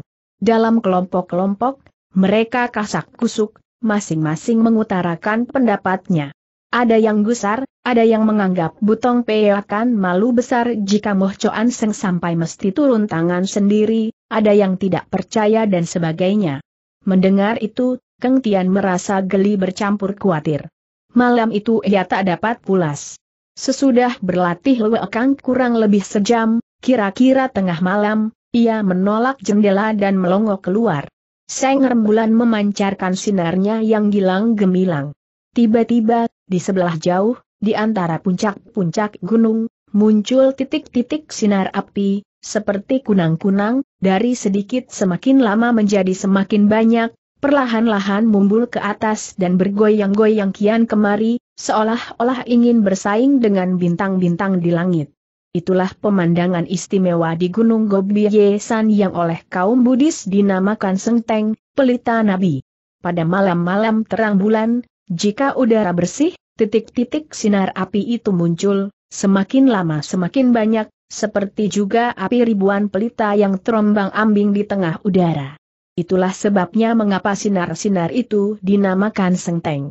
Tapi sebenar-benarnya sinar-sinar tersebut muncul karena fosfor yang banyak sekali terdapat di Gunung Gobye San Kuil Kin Kong Sie mempunyai peraturan yang dipegang keras. Pada waktu itu, jumlah paderi dan tamu yang bernaung dalam kuil tersebut, sedikitnya ada beberapa ratus orang, tapi keadaan di sekelilingnya sunyi senyap dan tidur orang tidak terganggu suara apa pun juga. Dengan hati yang tidak keruan rasanya, Keng Tian mengawasi pemandangan malam yang indah itu. Tempat ini tenang dan damai, katanya di dalam hati. Sungguh sayang jika kelak benar-benar dikacau orang, Tiba-tiba ia ingat akan Hong Sek Jin. Ia tak tahu, apakah benar imam itu si orang aneh dari Hong Tong Pei yang telah disebutkan Xiao Cheng Hong? Jika benar dia, ia merasa tidak ungkulan untuk melayani musuh itu seorang diri. Sesaat kemudian, ia ingat kepada pengcoan Tian Lie. Jika si Nona berada di situ dan bersama-sama melayani musuh, ia tak akan merasa keder lagi terhadap si Toosu atau orang lain yang berkepandaian lebih tinggi dari Hong Sek Toojin. Eng ingat pengko, tanpa merasa ia teringat pula kepada si pengemis kursa yang terus mengikuti si Nona dari belakang. Kenapa pengcoan Tian Lie Sudi berkawan dengan orang itu benar-benar ia tak mengerti. Semakin berpikir, hatinya semakin pepat. Perlahan-lahan ia memakai jubah panjangnya dan pergi ke kamar sebelah dengan niatan bercakap-cakap dengan suami istri Xiao Cheng Hong. Tapi tak dinyana, mereka berdua tidak berada dalam kamar. Seperti Keng Tian, malam itu Xiao Cheng Hong juga tak dapat pulas. Inilah untuk kedua kalinya ia menghadiri kiatian. Ia ingat, dulu, ketika datang untuk pertama kalinya, Chia In Chin telah mengadu pedang dengan Lui Chin Chu dan ia sendiri, tanpa sebab tanpa lantaran, sudah terseret masuk ke dalam peristiwa itu dan jadi bermusuh hebat dengan Lui Chin Chu, sehingga ia mesti kabur ke Tibet dan hampir-hampir tak bisa pulang lagi ke kampung halamannya. Ia menghitung-hitung, dari tempo itu sampai sekarang, sudah berselang 20 tahun. Untung juga, pada tahun yang lalu, ketika mendaki puncak es, permusuhan dengan Lui Chin Chu dapat dibereskan dan ia bisa pulang ke kampungnya, akan kemudian menikah dengan Go Chiang Xian. Bahwa sekarang ia bisa berada pula di Gobyesan dan akan turut pula dalam pertemuan Kiatian, sudah sangat mengharukan hatinya. Sebagai istri, Go Chiang Xian mengetahui apa yang sedang dipikir suaminya dan di waktu gembira, ia segera mengajak suaminya pergi ke tempat di mana dulu mereka bertempur. Malam ini adalah sama dengan malam pada 20 tahun berselang, yaitu malaman kiatian. Tapi beda dengan dulu, malam ini terang cemerlang disinari seng bulan, dengan udaranya yang sangat bersih dan dengan senteng yang luar biasa. Di bawah sinar terang laksana perak, segala apa dalam jarak setengah li, dapat dilihat tegas sekali. Xiao Cheng Hang menunjuk tempat di mana dulu terjadi pertempuran dan sekali lagi menuturkan segala kejadian itu. Peristiwa itu sudah terjadi lama sekali, akan tetapi, pada saat itu, dalam suasana yang sedemikian, Xiao Cheng Hang merasa seakan-akan segala sesuatu itu baru saja terjadi kemarin. Gong Chiang San tertawa dan berkata, tak tahu di mana adanya Tok Beng Sian Chu Chia Chin sekarang ini. Apakah kau masih ingat kepadanya Chia Chin mempunyai tangan yang telengas, kata Seng suami. Tapi, biar bagaimanapun juga, ia adalah seorang yang mencinta sahabat. Terhadap sahabat begitu, siapa pun tak akan dapat melupakannya. Di samping itu, aku juga merasa sangat berterima kasih terhadapnya. Ia mengenal kau lebih dari aku, kenapa begitu tanya Go Chiang Xian. Ia pernah mengatakan, bahwa kau adalah seorang wanita yang halus budi pekertinya, Cheng Hang menerangkan. Sekarang, aku juga mengetahui, bahwa kau adalah seorang istri yang sangat bijaksana. Sungguh sayang, aku adalah manusia goblok. Jika pada 20 tahun berselang, aku sudah mengetahui perasaan cintamu, mungkin sekali aku tak usah menderita 10 tahun di Tibet, Xiao Cheng Hang mengucapkan kata-kata itu dengan suara lemah lembut dan dengan hati yang penuh kecintaan, sehingga si istri merasa beruntung bercampur terharu. Aku sungguh ingin bertemu muka dengan Chia Incin, kata Gou Chiang Xian sembari mesem. Tak tahu, apakah ia dan Tia Koaisian sekarang masih berada di Tibet, kata Seng suami. Memang tak gampang orang dapat menemui mereka, selagi mereka berbicara, di tempat agak jauh, di antara daun-daun pohon kembang, tiba-tiba muncul muka seorang wanita. Ketika wanita itu memutarkan badan, baru kelihatan bahwa di punggungnya menggemblok seorang bayi, yang mungkin karena terpukul cabang, mendadak sadar dari tidurnya dan segera menangis. Hampir berbareng dengan itu, Xiao Cheng Hang mengeluarkan teriakan tertahan. Kedua matanya terbuka lebar sambil mengawasi wanita itu dengan mata mendelong. Siapa tanya Go Chiang Xian? Chiang Chin jawabnya dengan suara ditenggorokan. Saat itu, hampir-hampir Xiao Cheng Hang tidak percaya matanya sendiri. Tapi, Sebelum mereka dapat bergerak atau memanggil, kesunyian sang malam sekonyong-konyong dipecahkan oleh bentakan, perempuan siluman. Kau masih mempunyai nyali untuk datang pula di Gobie Sanha bentak seorang lain. Kau kira kami tidak mengenali kau lagi 20 tahun, biarkah sudah mampus menjadi abu, kami toh masih mengenali kau kami ingin berkenalan dengan Ker Ker, Tok Beng Sian Chu membetot jiwa manusia, kata orang ketiga dengan suara mengejek, Pok Beng Sian Chu berarti Dewi Pembetot Jiwa, di lain saat muncul empat imam yang mengenakan pakaian hitam dan masing-masing mencekal pedang. Mereka mengambil kedudukan di timur, selatan, barat dan utara dan mengurung Chia Encin dalam jarak sepuluh tombak. Xiao Cheng Hang menghela napas mengingat sakit hati manusia yang begitu berlarut. Tak bisa salah lagi, Beberapa Toosu itu sekarang ingin membalas sakit hati Lui Chu yang didendam selama 20 tahun, tapi mereka mungkin tidak mengetahui, bahwa pada waktu itu, dengan segala kesombongannya, Lui Chu telah memasang jebakan untuk mencelakakan orang. Sebenarnya Xiao Cheng Hang ingin segera tampil ke muka untuk membujuk. Tapi mengingat, bahwa dalam peristiwa dulu, ia adalah salah seorang yang turut tersangkut dan kalau sekarang ia muncul besar sekali kemungkinannya ia akan terseret pula. Mengingat itu, ia lantas saja mengurungkan niatannya dan mengambil keputusan untuk melihat dulu bagaimana tindakan Chia Inchin. Ia segera menarik tangan istrinya dan mereka berdua bersembunyi di belakang sebuah pohon besar. Jika menuruti adatnya di waktu muda, Xiang Xiang Chia Chin sudah menghunus pedangnya. Akan tetapi, sesudah berkelana 20 tahun dalam dunia Kangou dan mendapat berbagai pengalaman, hawa apinya sudah berkurang banyak. Ia menepuk-nepuk bayinya dan berkata dengan suara tawar, Moh Tai Hiap telah meminjam Gobi Yesan untuk mengadakan kiatian. Orang-orang dari berbagai cabang persilatan semua diterima dengan tangan terbuka. Aku adalah anggota dari Gobi Pei. Mengapa aku tak boleh datang kemari Moh Tai Hiap adalah tetua Butong Pei kami, kata si imam yang berdiri di timur. Kau sudah melukakan Toa Suheng Lui Cincu, sehingga tak ketahuan di mana ia berada sekarang. Apakah kau masih mempunyai muka untuk mendengarkan petunjuk-petunjuk Moh Tai Hiap Toosu yang berdiri di sebelah barat tertawa dingin dan berkata dengan suara mengejek, Lui Cincu telah roboh dalam tangan jahatmu. Apakah kau yang berkepandaian begitu tinggi, sekarang ingin belajar dari Butong Pei yang ilmunya begitu cetek lagi-lagi Xiao Cheng Hang menghela napas. Ia ingat bahwa sebagai partai, Butong Pei mengalami zaman makmur pada masa kerajaan Beng. Sesudah itu, Butong Pei mulai merojan. Belakangan, yaitu 100 tahun lebih yang lampau, Kui Tiong Beng telah mendapatkan Tatmo Kiam Hoat yang asli. Semenjak itu, Butong Pei kembali naik namanya. Sekarang, walaupun putra Kui Tiong Beng, yaitu Moh Choan Seng, memiliki kepandaian yang sangat tinggi dan cukup syarat-syaratnya untuk meneruskan pekerjaan ayahnya, tapi ia adalah seorang yang sungkan pusing dan tak sudi mengurus segala soal-soal yang dianggap remeh.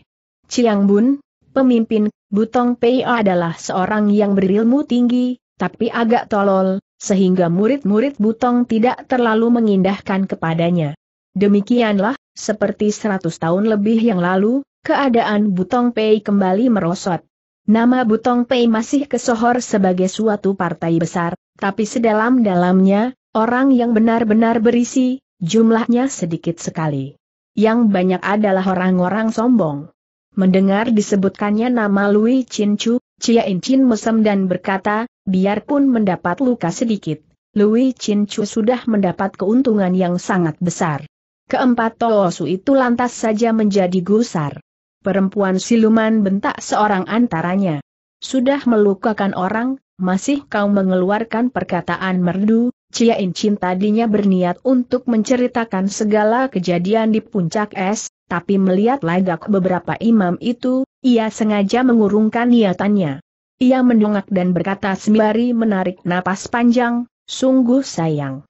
Sungguh sayang-sayang apa empat Toosu membentak dengan serentak. Chia Chin tak menyahut, tangannya kembali menepuk-nepuk bayinya. Anak, jangan takut, katanya.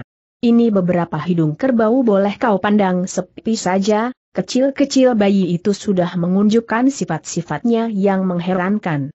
Tadi, lantaran kesampok cabang pohon, ia menangis keras. Tapi sekarang, melihat empat toosu itu yang mencekal pedang mengkilap, ia berbalik seperti orang kegirangan. Sembari mengeluarkan kedua tangannya yang kecil montok, ia tertawa lebar. Sungguh sayang, kata pula Chia Enchin.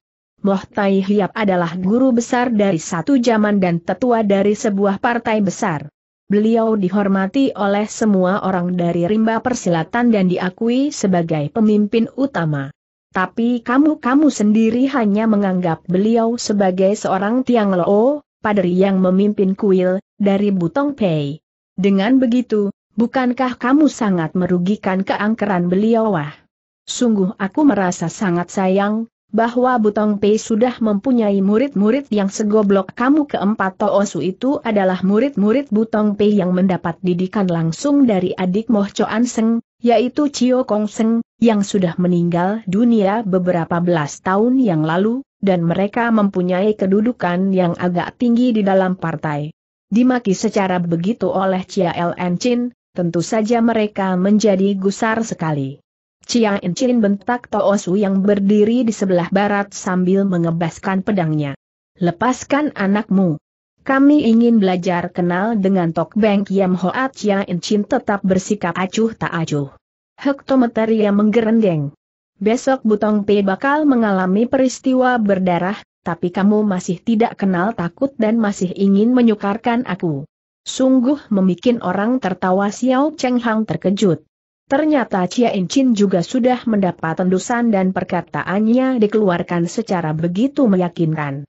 Apakah ia mempunyai pengetahuan yang lebih jelas mengenai mara bahaya yang mengancam beberapa toosu itu yang biasanya sombong, selalu menganggap bahwa di dalam dunia ini tak ada manusia yang berani membentur partainya. Maka itu, mendengar peringatan nyonya tersebut, sebaliknya dari berterima kasih, mereka jadi semakin gusar. Mungkin sekali kaulah yang bersekutu dengan kaum siluman untuk mengacau, maki imam yang berdiri di timur. Lepaskan anakmu. Sambutlah pedang tuanmu mendengar bentakan keras, bayi itu yang sedang tertawa-tawa, menjadi kaget dan menangis. Aku sebenarnya sungkan meladeni kamu, kata Cia Incin dengan paras muka berubah. Tapi karena kau, hidung kebau, sudah membikin nangisnya anakku, aku tak dapat mengampuni lagi sebelum si Toosu sempat membuka suara, sebuah sinar hijau sudah berkelebat. Semenjak dulu, Cia Incin kesohor cepat gerakannya. Begitu terhunus, pedang itu tahu-tahu sudah menyambar ke tenggorokan si imam yang dengan hati terkesiap, sedapat mungkin coba menangkis. Dengan berbunyi terang, pedang Toosu itu kutung menjadi dua. Sekali lagi pedang berkelebat dan kondisi imam terpapas separoh. Memang begitulah Kiam Hoat Chia Enchin. Sekali menghunus pedang, tak main sungkan-sungkan lagi. Muka Toosu itu menjadi pucat pias dan ia segera loncat mundur sejauh mungkin. Bayi Chia Enchin mendadak berhenti menangis dan kembali tertawa-tawa sambil mengeluarkan suaranya yang tidak tegas, seolah-olah ia mengetahui kemenangan ibunya. Xiao Cheng Hang yang menonton dari jauh, jadi merasa geli. Ah! Bayi itu sungguh-sungguh anak Tia Koaisian dan Chia Enchin, katanya di dalam hati. Tiga Toosu lainnya gusar bukan main. Tanpa memperdulikan lagi bayi yang sedang digendong, mereka membentak dan terus saja menyerang. Beberapa saat kemudian, sesudah dapat menenteramkan jantungnya yang bergoncang keras, Toosu yang barusan dihajar juga lantas menerjang dengan pedang kutungnya. Berikan dua tanda di badan perempuan siluman itu ia berteriak. Tapi hati-hati. Jangan melukakan anak yang tidak berdosa itu. Empat Toosu itu lantas saja mengurung dengan sus yang kiamtin, barisan pedang empat gaya, yang kepala buntutnya bergandengan satu dengan yang lain dan perlahan-lahan mereka mendekati Chia Enchin. Sus yang kiamtin adalah salah satu barisan pedang dari Butong Pei. Carol mengurungnya barisan itu rapat bukan main dan kecuali, jika seorang dua orang pengepung dibinasakan, orang yang dikepung tak akan gampang-gampang dapat meloloskan diri. Pada mulut Chia Enchin tetap tersungging mesuman tawar. Dengan keras ia mengebaskan pedangnya sehingga mengeluarkan suara ung-ung, siap sedia untuk membinasakan. Celaka Xiao Cheng Hang mengeluarkan seruan tertahan. Baru saja ia ingin loncat keluar untuk mendamaikan, Tiba-tiba dari tanjakan gunung berkelebat bayangan manusia yang gerakannya luar biasa cepatnya dan mulutnya mengeluarkan suara tertawa aneh. Dalam sekejap, orang itu sudah tiba di dekat gelalanggang pertempuran. Hampir berbareng empat Toosu itu berteriak, Aye dan serentak loncat keluar gelanggang. Toasu Heng mereka berseru. Xiao Cheng Hang mengenali, orang itu benar Lui Chu adanya. Bajunya, di bagian atas, penuh darah, seperti baru saja bertempur dengan musuh. Ia berlompat-lompat dan membentak, Hian Bu. Hian Hem, bikin apa kamu? Hai hai. Lekas berhenti. Hai hai, ia berpaling kepada Chia Incin dan berkata pula, Chia Toa Chie, kau juga datang hai hai perkataan-perkataannya itu, yang diseling dengan tertawa aneh, membikin ia jadi kelihatan lucu sekali. Di samping itu, tak hentinya ia melompat-lompat, seperti juga tak tahan merasakan kesakitan atau kegatalan. Louis Chinchu adalah murid kepala dari turunan kedua partai Butong Pei, sehingga, kecuali Chiang Bunjin, ialah yang paling tinggi kedudukannya. Maka itu, walaupun geli melihat lagaknya yang aneh, empat Toosu itu tidak berani tertawa. Louis Chinchu, kenapa kau tanya Chia Chin sembari tertawa? Kenapa kau bertempur dengan mereka Lui Chin Chu balas menanya. Hai hai, biar mereka berdosa, kau harus pandang juga mukaku. Hai hai Chia Chin yang barusan merasa geli, sekarang mengetahui, bahwa Lui Chin Chu telah menemui kejadian luar biasa. Mereka mengatakan, aku sudah mendesak kau, sehingga kau tak ketahuan ke mana perginya, Chia Chin menerangkan. Mereka mau juga bertempur denganku. Bagus juga kau keburu datang. jika tidak, jiwa Tok Beng Sian Chu berbalik lebih dulu dibetot oleh murid-murid Butong, 20 tahun yang lalu, dia menghina kau, kata seorang Toasu. Sekarang dia menghina kami. Toasu Heng, tak dapat kita melepaskan dia, dan juga, sambung imam yang lain. Dia mengatakan, besok partai kita akan mengalami peristiwa berdarah. Hektometer. Toa Suheng, apa boleh manusia itu dibiarkan mengaco belo mendadak, Lui Chu meloncat beberapa tombak tingginya. Benar ia berteriak. Besok bakal ada marah bahaya. Hai hai, kamu benar-benar sudah membuat malu Butong Pei. Hai hai selagi badannya melayang turun, Bagaikan kilat Lui Chin Chu menggaplok empat toosu itu yang lantas saja terguling sembari berkawak-kawak. Di lain saat, ia juga roboh di atas tanah dengan mulut mengeluarkan rintihan aneh dan badannya dingin bagaikan es bukan main kagetnya keempat toosu itu, yang segera memeriksa keadaan kakak seperguruan itu. Napas Lui Chin Chu masih berjalan sebagaimana biasa dan nadinya pun tidak berubah, tapi ia tak dapat berbicara lagi. Buka bajunya, Cia Incin memerintah dengan suara dingin. Mungkin sekali jalan darahnya kena ditotok, begitu baju Lui Cincu dibuka, semua orang mengeluarkan teriakan kaget. Dengan bantuan sinar rembulan, dapat dilihat, bahwa pada pundak Lui Cincu terdapat bekas tapak tangan yang berwarna merah darah dan di lain bagian terdapat tiga tanda totokan pada jalan darah mahiat, jalan darah yang membuat orang merasa kesemutan, yang yang hiat, jalan darah yang menimbulkan rasa gatal, dan xiao yao hiat, jalan darah yang menimbulkan tertawa. Empat toosu itu saling mengawasi dengan muka pucat. Mereka heran berbareng takut. Lui Chu adalah seorang yang sangat terpandang dalam Butong Pei dan sekarang, ia sudah kena dilukakan secara begitu menyedihkan. Mengingat perkataan Cia Incin dan kakak seperguruannya, mereka bergidik. Jika begitu, mungkin sekali besok akan terjadi peristiwa berdarah. Meskipun Cia Incin berkepandaian banyak lebih tinggi dari empat toosu itu, tapi sesudah melihat luka Lui Cincu dan tiga totokan jalan darah itu, ia juga tak dapat mengetahui tangan orang partai mana yang begitu beracun. Tersipu-sipu empat toosu itu mengurut badan kakak seperguruannya untuk coba membuka jalan darah yang kena ditotok. Tapi keadaan Lui Cincu menjadi semakin hebat. Rintihannya jadi semakin keras dan keringat dingin membasahi seluruh badannya.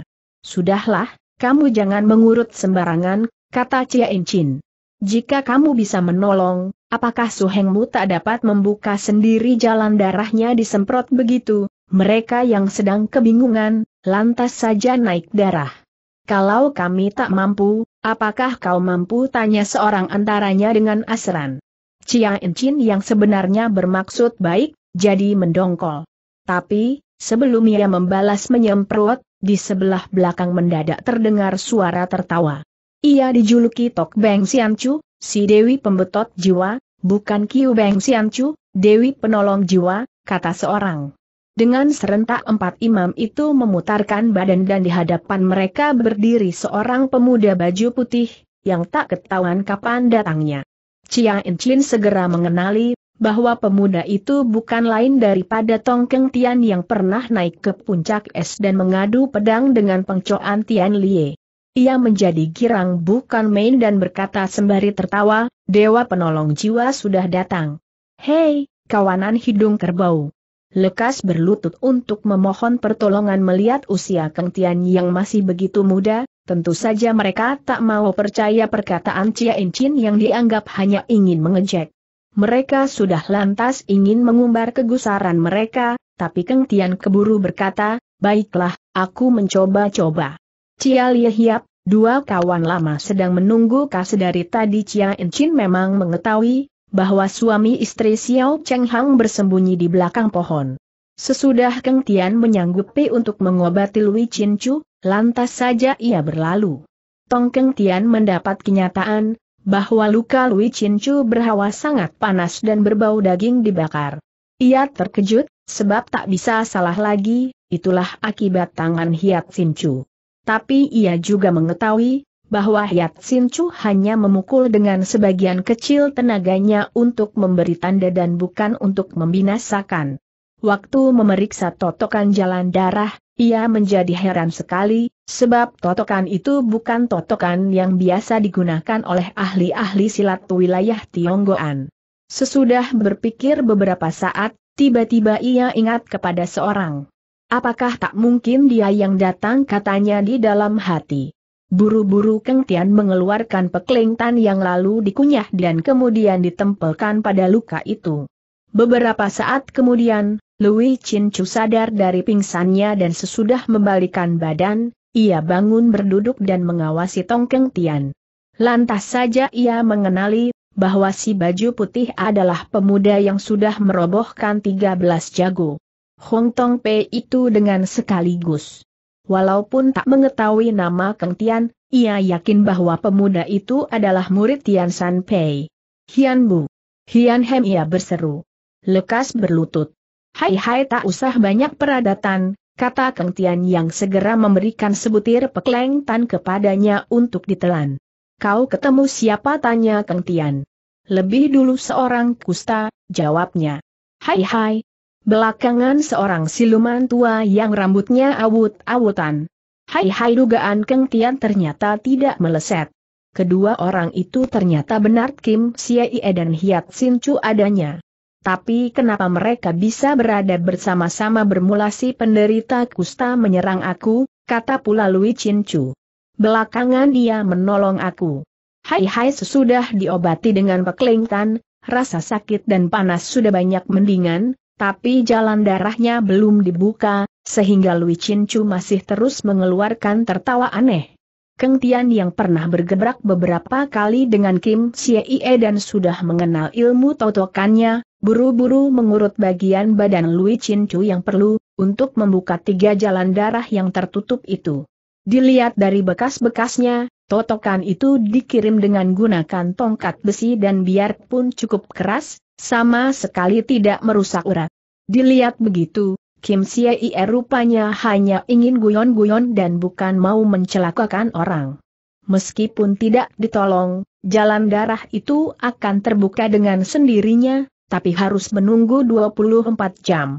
Begitu jalan darahnya terbuka, rasa kesemutan dan geli segera menjadi lenyap. Untuk beberapa lama, Louis Chin Chu duduk mengasuh dengan napas tersengal-sengal.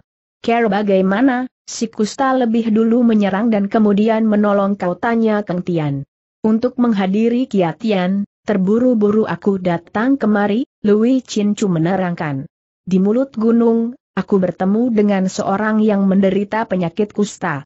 Aku berpikir, peraturan kita begitu keras, kenapa si kusta dibiarkan datang mengganggu maka itu, aku segera coba mengusir dia. Ia menanyakan namaku. Aku memberitahukan sebenarnya dan menambahkan bahwa masih untung dia bertemu aku.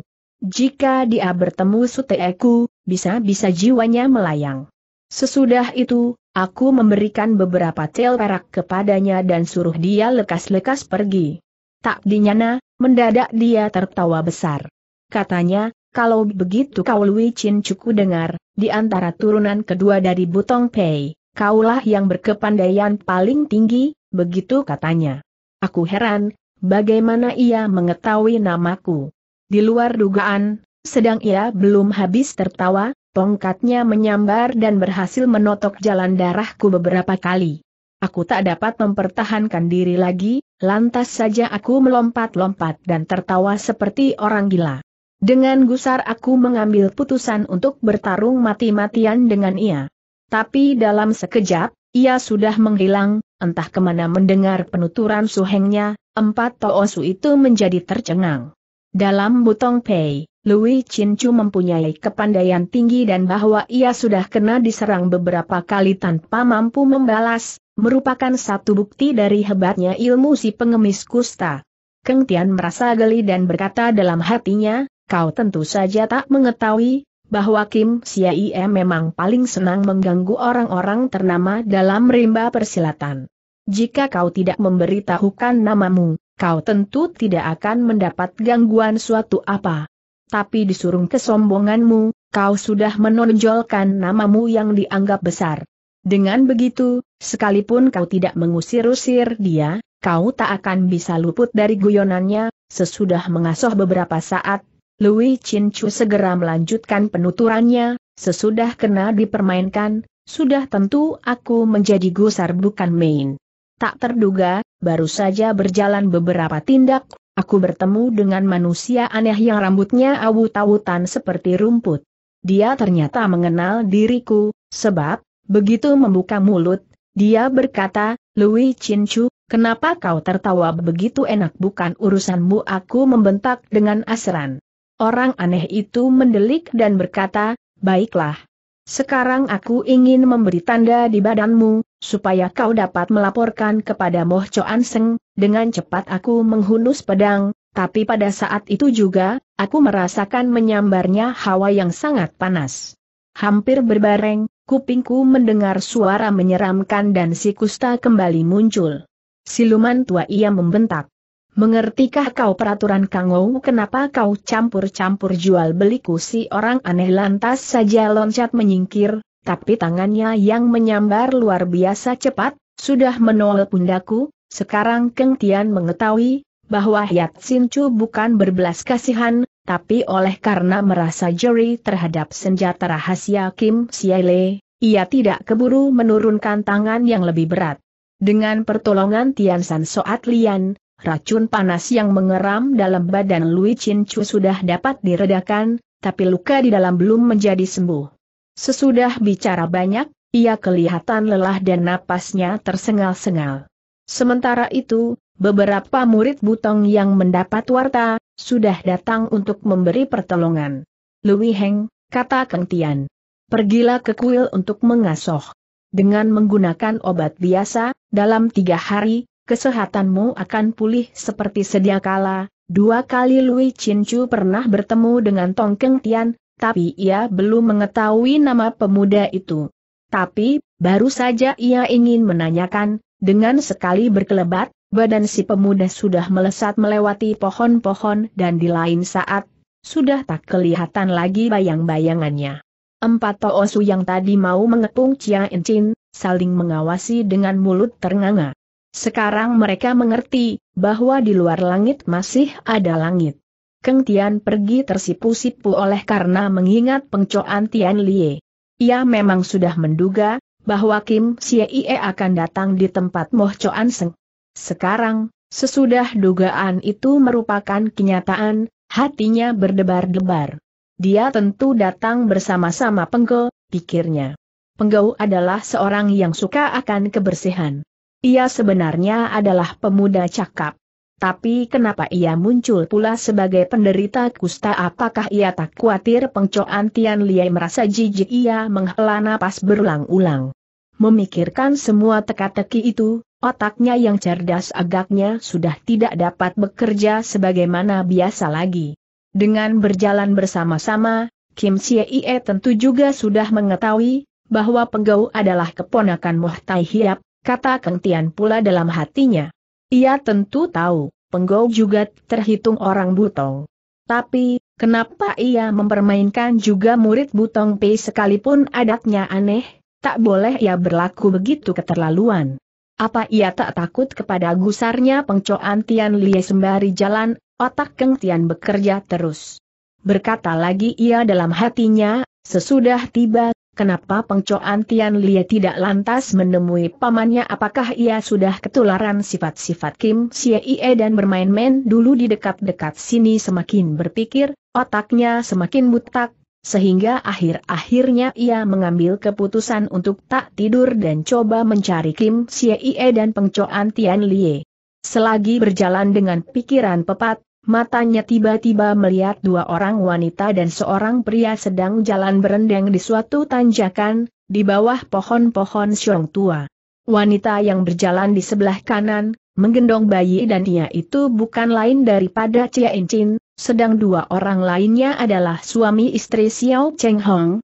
Keng Tian sungkan mengganggu mereka, tapi sambil lalu, ia mendengar Cia Incin berkata, tak salah yaitu orang yang berpenyakit kusta hatinya melonjak dan ia menghentikan tindakannya secara mendadak, sehingga menerbitkan suara kerisekan. Chia Chin menengok dan menanya sembari tertawa, bagaimana apakah keadaan Lui Chin Chu tidak berbahaya untung juga Hiat Sin Chu tidak menggunakan seantero tenaganya, jawab Keng Tian. Sesudah menelan peklingtan, kurasa jiwanya tidak terancam lagi. Sebenarnya, ia harus berterima kasih kepada si Kusta, apa menegasi Chia Chin.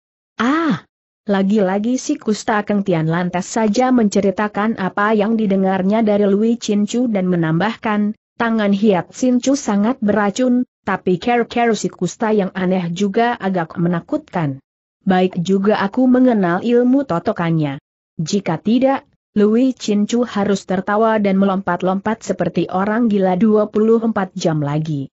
Sungguh sangat tak enak bagi Lui Chin Chu yang terkenal sebagai murid utama dari turunan kedua partai Butong Pei, Chia In Chin terkesiap. Ah, untung aku ditolong oleh seorang berilmu, katanya. Kalau tidak, aku pun harus menjadi korban si kusta itu kau juga bertemu dengan ia tanya Keng Tian. Benar, sahut Chia In Chin. Selagi dia mau menimpuk jalan darahku dengan batu, Seorang wanita muda yang tak mau menampakkan diri, sudah menggebah ia, wanita mana yang mempunyai kepandaian begitu tinggi tanya pula Keng Tian dengan penuh keheranan. Apakah pengcoan Tian Lian itu tidak lantas menjawab? Ia menepuk-nepuk bayinya yang sudah pulas nyenyak dan mulutnya bersenyum manis, seolah-olah sekuntum bunga yang indah mendadak muncul di tengah hutan belukar. Jika kau ingin mengetahui, Bagaimana aku bertemu dengan si Kusta, aku harus bercerita dari kepala sampai di buntut, jawabnya. Keng Tian manggutkan kepalanya dan segera memasang kuping. Chia Chin menepuk-nepuk pula anaknya. Mendadak ia tertawa dan berkata, coba lihat. Sama sekali tak mirip dengan ayahnya, sangat mirip dengan kau, celetuk Xiao Cheng Hong, di kemudian hari ia tentu akan menjadi seorang pendekar muda yang cakap dan ganteng, dengan berkata begitu Xiao Cheng Hang sebenarnya ingin memuji kecantikan nyonya itu. Chia Chin mesem. Kau datang dari Tibet, apakah ayah anak ini masih berada di puncak es tanyanya kepada Keng Tian. Waktu terjadi gempa bumi, aku sedang memetik daun obat. Belakangan jalan kembali sudah tertutup lahar, sehingga aku terpaksa pulang lebih dulu. Aku sangat khawatirkan keselamatan mereka. Hari itu, aku melihat keraton es masih berdiri, hanya aku tak tahu bagaimana keselamatan mereka, Keng Tian merasa sangat pilu. Xiao Cheng Hang tak tahu, tapi ia tahu, Tia Koaisian sudah pulang ke alam baka dan dalam dunia ini, Chia In Chin tak bisa bertemu pula dengan suaminya. Melihat paras muka itu, tak tega ia menyampaikan warta jelek itu. Maka itu, lantas saja ia menjawab secara samar-samar, aku tidak naik lagi ke keraton es dan tak tahu keadaan suamimu.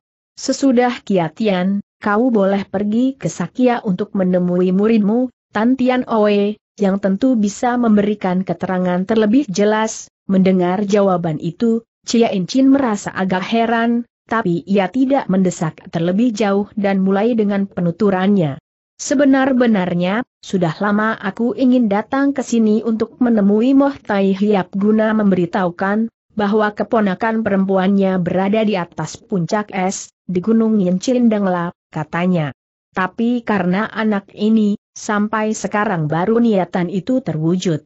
Sebelum berangkat, Aku sudah mendengar desas-desus tentang adanya beberapa orang yang ingin menyukarkan Moh Tai Hiap dalam kiatian kali ini. Tadinya aku tidak begitu percaya, tapi siapanya na aku sendiri mendapat buktinya. Kalau tak salah, besok bakal ramai sekali, apa Kentian menegas. Di samping si Kusta, apakah kau bertemu dengan orang lain? Tak salah, Cia Incin membenarkan. Tadi, kira-kira maghrib, baru saja aku masuk ke mulut jalan gunung, anakku lapar. Aku segera bersembunyi di belakang sebuah batu besar dan menetrinya. Tiba-tiba aku mendengar suara tindakan beberapa orang yang sedang memasuki lembah. Aku mengintip dan mendapat kenyataan, bahwa mereka itu adalah beberapa Toh Subutong Pei, bersama Cui Incu. Agaknya mereka sedang bertengkar. Mendadak aku mendengar suara Cui Incu yang sangat keras, Lui Toako tidak mati. ia menjanjikan aku supaya malam ini berkumpul di Kim Kong Xie. Jika kamu masih tidak percaya, sebentar kamu bisa menyaksikan dengan mata sendiri, agaknya ia dan Lui Chin telah mengambil jalan yang berlainan. Maka itu, waktu tadi bertemu dengan Lui Chin aku tidak menjadi heran. Beberapa toosu itu lantas saja mengatakan sesuatu, tapi tak dapat didengar olehku.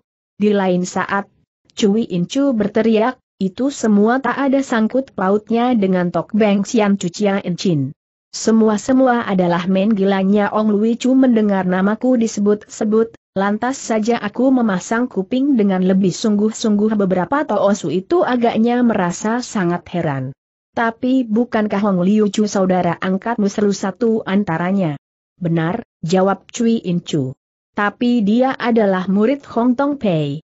Hong Tong Pei, baru saja Cui In Chu berkata sampai di situ, Tiba-tiba terdengar suatu teriakan aneh dan dari atas cadas berkelebat turun sesosok bayangan manusia yang lantas menubruk Cui Incu. Cui Incu mengangkat gendawanya untuk menangkis.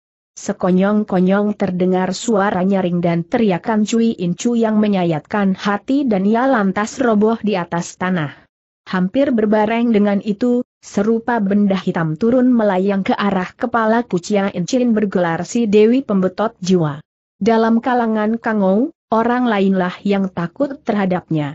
Tapi, di waktu menutur sampai di situ, paras mukanya berubah pucat dan suaranya agak gemetar. Apakah itu tanya Xiao Cheng Hong? Cia Ln Chin menghela napas dan menjawab, Sin Kiong, gendawa malaikat, Cui Incu yang sudah berubah lempang bagaikan tongkat besi. Coba pikir, dengan sekali sambar, sekali membetot, senjata Cui Incu sudah berubah menjadi begitu mendengar itu, Keng Tian ternganga. Bahwa orang itu bisa membetot dan melemparkan gendawa tersebut dalam tempo sekejap mata, terlebih pula busur yang tadinya melengkung sudah kena dibetot menjadi lurus, adalah suatu kejadian yang sungguh-sungguh luar biasa, lah sendiri belum tentu mampu berbuat begitu. Itu masih belum seberapa, kata pula Chia Inchin. Sin Kiong Cui Incu adalah senjata mustika. Talinya yang terbuat dari benang-benang emas, tak dapat diputuskan dengan senjata tajam. Tapi sekarang, tali itu putus seantronya dan benang-benangnya berkibar-kibar di tengah udara. Jika hanya putus beberapa lembar benang, aku juga tidak merasa heran. Tapi orang itu, dengan sekali mengebas, sudah memutuskan semua tali itu. Jika tak melihat dengan mata sendiri, aku pun tak akan percaya, apakah orang itu seorang imam tua yang mengenakan jubah pertapaan warna kuning tanya Keng Tian. Bukan, jawabnya sembari menggelengkan kepala. Dilihat dari mukanya, ia baru berusia 30 tahun lebih. Orangnya tinggi kurus, rambutnya awut-awutan seperti rumput dan di bawah sinar rembulan, mukanya putih meletak, sehingga aku sendiri jadi bergidik, ih kata Kang Tian, terkejut. Kalau begitu, dia bukan Hong Sekto Jin. Dalam dunia ini, kecuali beberapa ciampoe dari partai-partai yang murni, siapa lagi yang mempunyai kepandaian begitu tinggi Xiao Cheng Hang juga heran bukan main, tapi sebagai orang yang berpengalaman luas, ia segera dapat mengutarakan pikirannya. Dilihat begini, katanya kalau orang itu bukan Hong Tong Pei, tentu juga ia mempunyai sangkut paut rapat dengan partai tersebut. Maka itu, di waktu Cui In Chu menyebut nama Hong Tong Pei, ia segera menyerang untuk menutup mulutnya, Keng Tian lantas saja ingat akan pengalamannya di waktu Lui Chin Chu dikepung oleh Tio Leng Kun dan 12 kawannya. Tak salah, katanya. Sejumlah orang Hong Tong Pei, di bawah pimpinan Tio Leng Kun, sudah menghamba kepada kerajaan Cheng dan berniat membasmi orang-orang Butong yang melawan bangsa Boan di daerah Singkiang, apakah Cui Incu ditotok jalan darah gagunya tanya Xiao Cheng Hong? Lebih dari itu sahut Chia Enchin. Gendewa itu jatuh di pinggir badanku dan sedikit pun aku tidak berani bergerak. Untung anakku sudah kenyang dan sudah pulas. Dengan hati berdebar-debar, aku mengintip dari sela-sela batu. Sesudah merobohkan Cui Incu, bagaikan kilat, Orang itu mengerjakan kedua tangannya, beberapa toosu itu mengeluarkan teriakan AAU yang luar biasa dan melompat-lompat seperti orang menginjak bara. Orang itu tertawa seraya berkata, sekarang kamu tak bisa menggoyang lidah sebarang lagi, di lain saat, bagaikan seekor kera, bayangannya sudah berada di tanjakan gunung, tapi suara tertawanya yang membangunkan bulu Roma masih berkumandang terus di selat gunung yang sunyi, Sesudah orang itu pergi jauh, dengan memberanikan hati, aku keluar dari tempat sembunyi untuk melihat keadaan para korban itu. Bermula aku menduga mereka hanya ditotok jalan darah gagunya. Tapi segera juga hatiku mencelos, sebab beberapa toosu itu, berikut Cui Incu, sudah dikutungkan lidahnya. Setelah memeriksa, aku mendapat kenyataan, bahwa tulang pundak mereka juga dipukul hancur, sehingga mereka bukan saja menjadi orang gagu, tapi juga bercacat untuk seumur hidupnya, tanpa mempunyai lagi kepandaian silat, suami istri Xiao Cheng Hong kaget bukan main. Kenapa dia begitu kejam tanya Cheng Hong? Lebih kejam seratus kali daripada si penderita kusta. Si kusta hanya main-main, tidak melukakan orang secara sungguh-sungguh, Tong Keng Tian tidak berkata suatu apa dan Chia Enchin lantas saja meneruskan penuturannya, sorot mati mereka seperti orang berotak miring, mulut mereka ternganga tak bisa ditutup dan juga tak dapat mengeluarkan suara. Otot-otot muka mereka pada timbul dan kelihatannya sangat menakutkan. Tentu saja dengan seorang diri, aku tidak bisa menggendong mereka. Maka itu, tanpa memperdulikan bahaya, jalan satu-satunya adalah memberi warta ke Kim Kong Xie. Secepat mungkin aku berlari-lari. Tapi baru saja keluar dari selat gunung, aku melihat belasan Toosu yang membawa obor, masuk ke dalam mulut selat lain. Mereka berkaok-kaok, memanggil-manggil saudara-saudara seperguruannya. Agaknya sesudah mendengar teriakan-teriakan luar biasa, mereka berkhawatir dan lalu mencari saudara-saudaranya itu. Hatiku menjadi agak lega, tapi aku merasa, biar bagaimanapun juga, aku harus melaporkan kejadian itu kepada Moh Tai Hiap. Demikian aku terus mendaki gunung. Tapi, di luar dugaan, sebelum tiba di puncak emas, aku bertemu dengan si penderita kusta Tongkeng Tian Mesem dan berkata, si Kusta tentu juga sudah mendengar nama besar Tok Beng Sian Chu, sehingga ia sengaja mengganggu kau, ya, kata Cia Chin. Aku tak tahu, bagaimana ia bisa mengenal aku. Waktu itu, Kim Kong Xie sudah dekat sekali dan gedungnya sudah bisa dilihat nyata dari jauh. Mungkin lantaran aku berlari terlalu cepat, anakku mendusin dan menangis. Aku berhenti dan mengusap-usap tubuhnya. Saat itu hatiku sedih oleh karena mengingat, bagaimana seorang diri dan dengan menggendong-gendong anak, aku terombang-ambing di dalam dunia. Sambil menepuk-nepuk anakku, aku berkata, ah, jika ayahmu berada di sini, bahaya apa pun juga kita tak usah takuti lagi anak itu seolah mengerti perkataanku dan ia lantas saja berhenti menangis. Selagi mau meneruskan perjalananku, di atas kepalaku mendadak terdengar suara tertawa. Aku mendongak dan di situ, di atas sebuah batu besar, duduk bersila seorang penderita kusta yang macamnya sungguh-sungguh menakutkan. Aku terkejut, lebih terkejut daripada tadi si kusta mengawasi aku dan tertawa hahaha. Apakah kau bukannya Tok Beng Sian Cucia Encin tanyanya. Sesaat itu, Aku ingat warta yang tersiar dalam kalangan Kangou tentang munculnya seorang penderita kusta yang sangat ditakuti. Dengan memberanikan hati, aku berkata, eh, jangan menakut-nakuti anakku si kusta menyengir dan berkata pula, hei, bukankah kau Tok Beng Siancu kau sendiri yang takut? Sebaliknya kau mengatakan anakmu yang takut kepadaku sehabis berkata begitu, ia membuat lagak seperti monyet dan mengeluarkan suara lucu. Entah bagaimana, anakku jadi tertawa. Ia kelihatan girang sekali. Nah, lihatlah katanya. Anakmu tak takut padaku. Eh, bukankah suamimu yang dipanggil Tieko Aisian kenapa ia tidak bersama-sama kau aku tak menjawab sebab sedang mencari jalan untuk menghadapi gangguannya. Si Kusta tertawa pula dan berkata, sayang. Sungguh sayang. Jika suamimu turut datang, bukankah aku dapat meminta pengajaran dari seorang yang namanya begitu kesohor dia mengenakan pakaian rombeng seperti pengemis dan senjatanya juga sebatang tongkat besi, sehingga mirip sekali dengan ayah anakku. Beberapa saat kemudian, ia berkata lagi, eh, jelek bagus aku adalah sekaum dengan suamimu. Kenapa kau tak meladeni darahku mulai naik? Aku meraba gagang pedang dan membentak supaya ia menyingkir. Baiklah, katanya. Tapi dengan satu syarat, yaitu kau harus tertawa dulu terhadapku, aku tak dapat menahan sabar lagi, dengan menghunus pedang, aku menerjang. Dia lagi-lagi tertawa dan berkata, Ha, galak benar kau. Aku tak membetot jiwamu, hanya ingin melihat tertawamu yang manis. Kenapa kau lantas marah sembari berkata begitu? Tangannya menjumput sebuah batu yang lantas dicengkeram, sehingga menjadi hancur.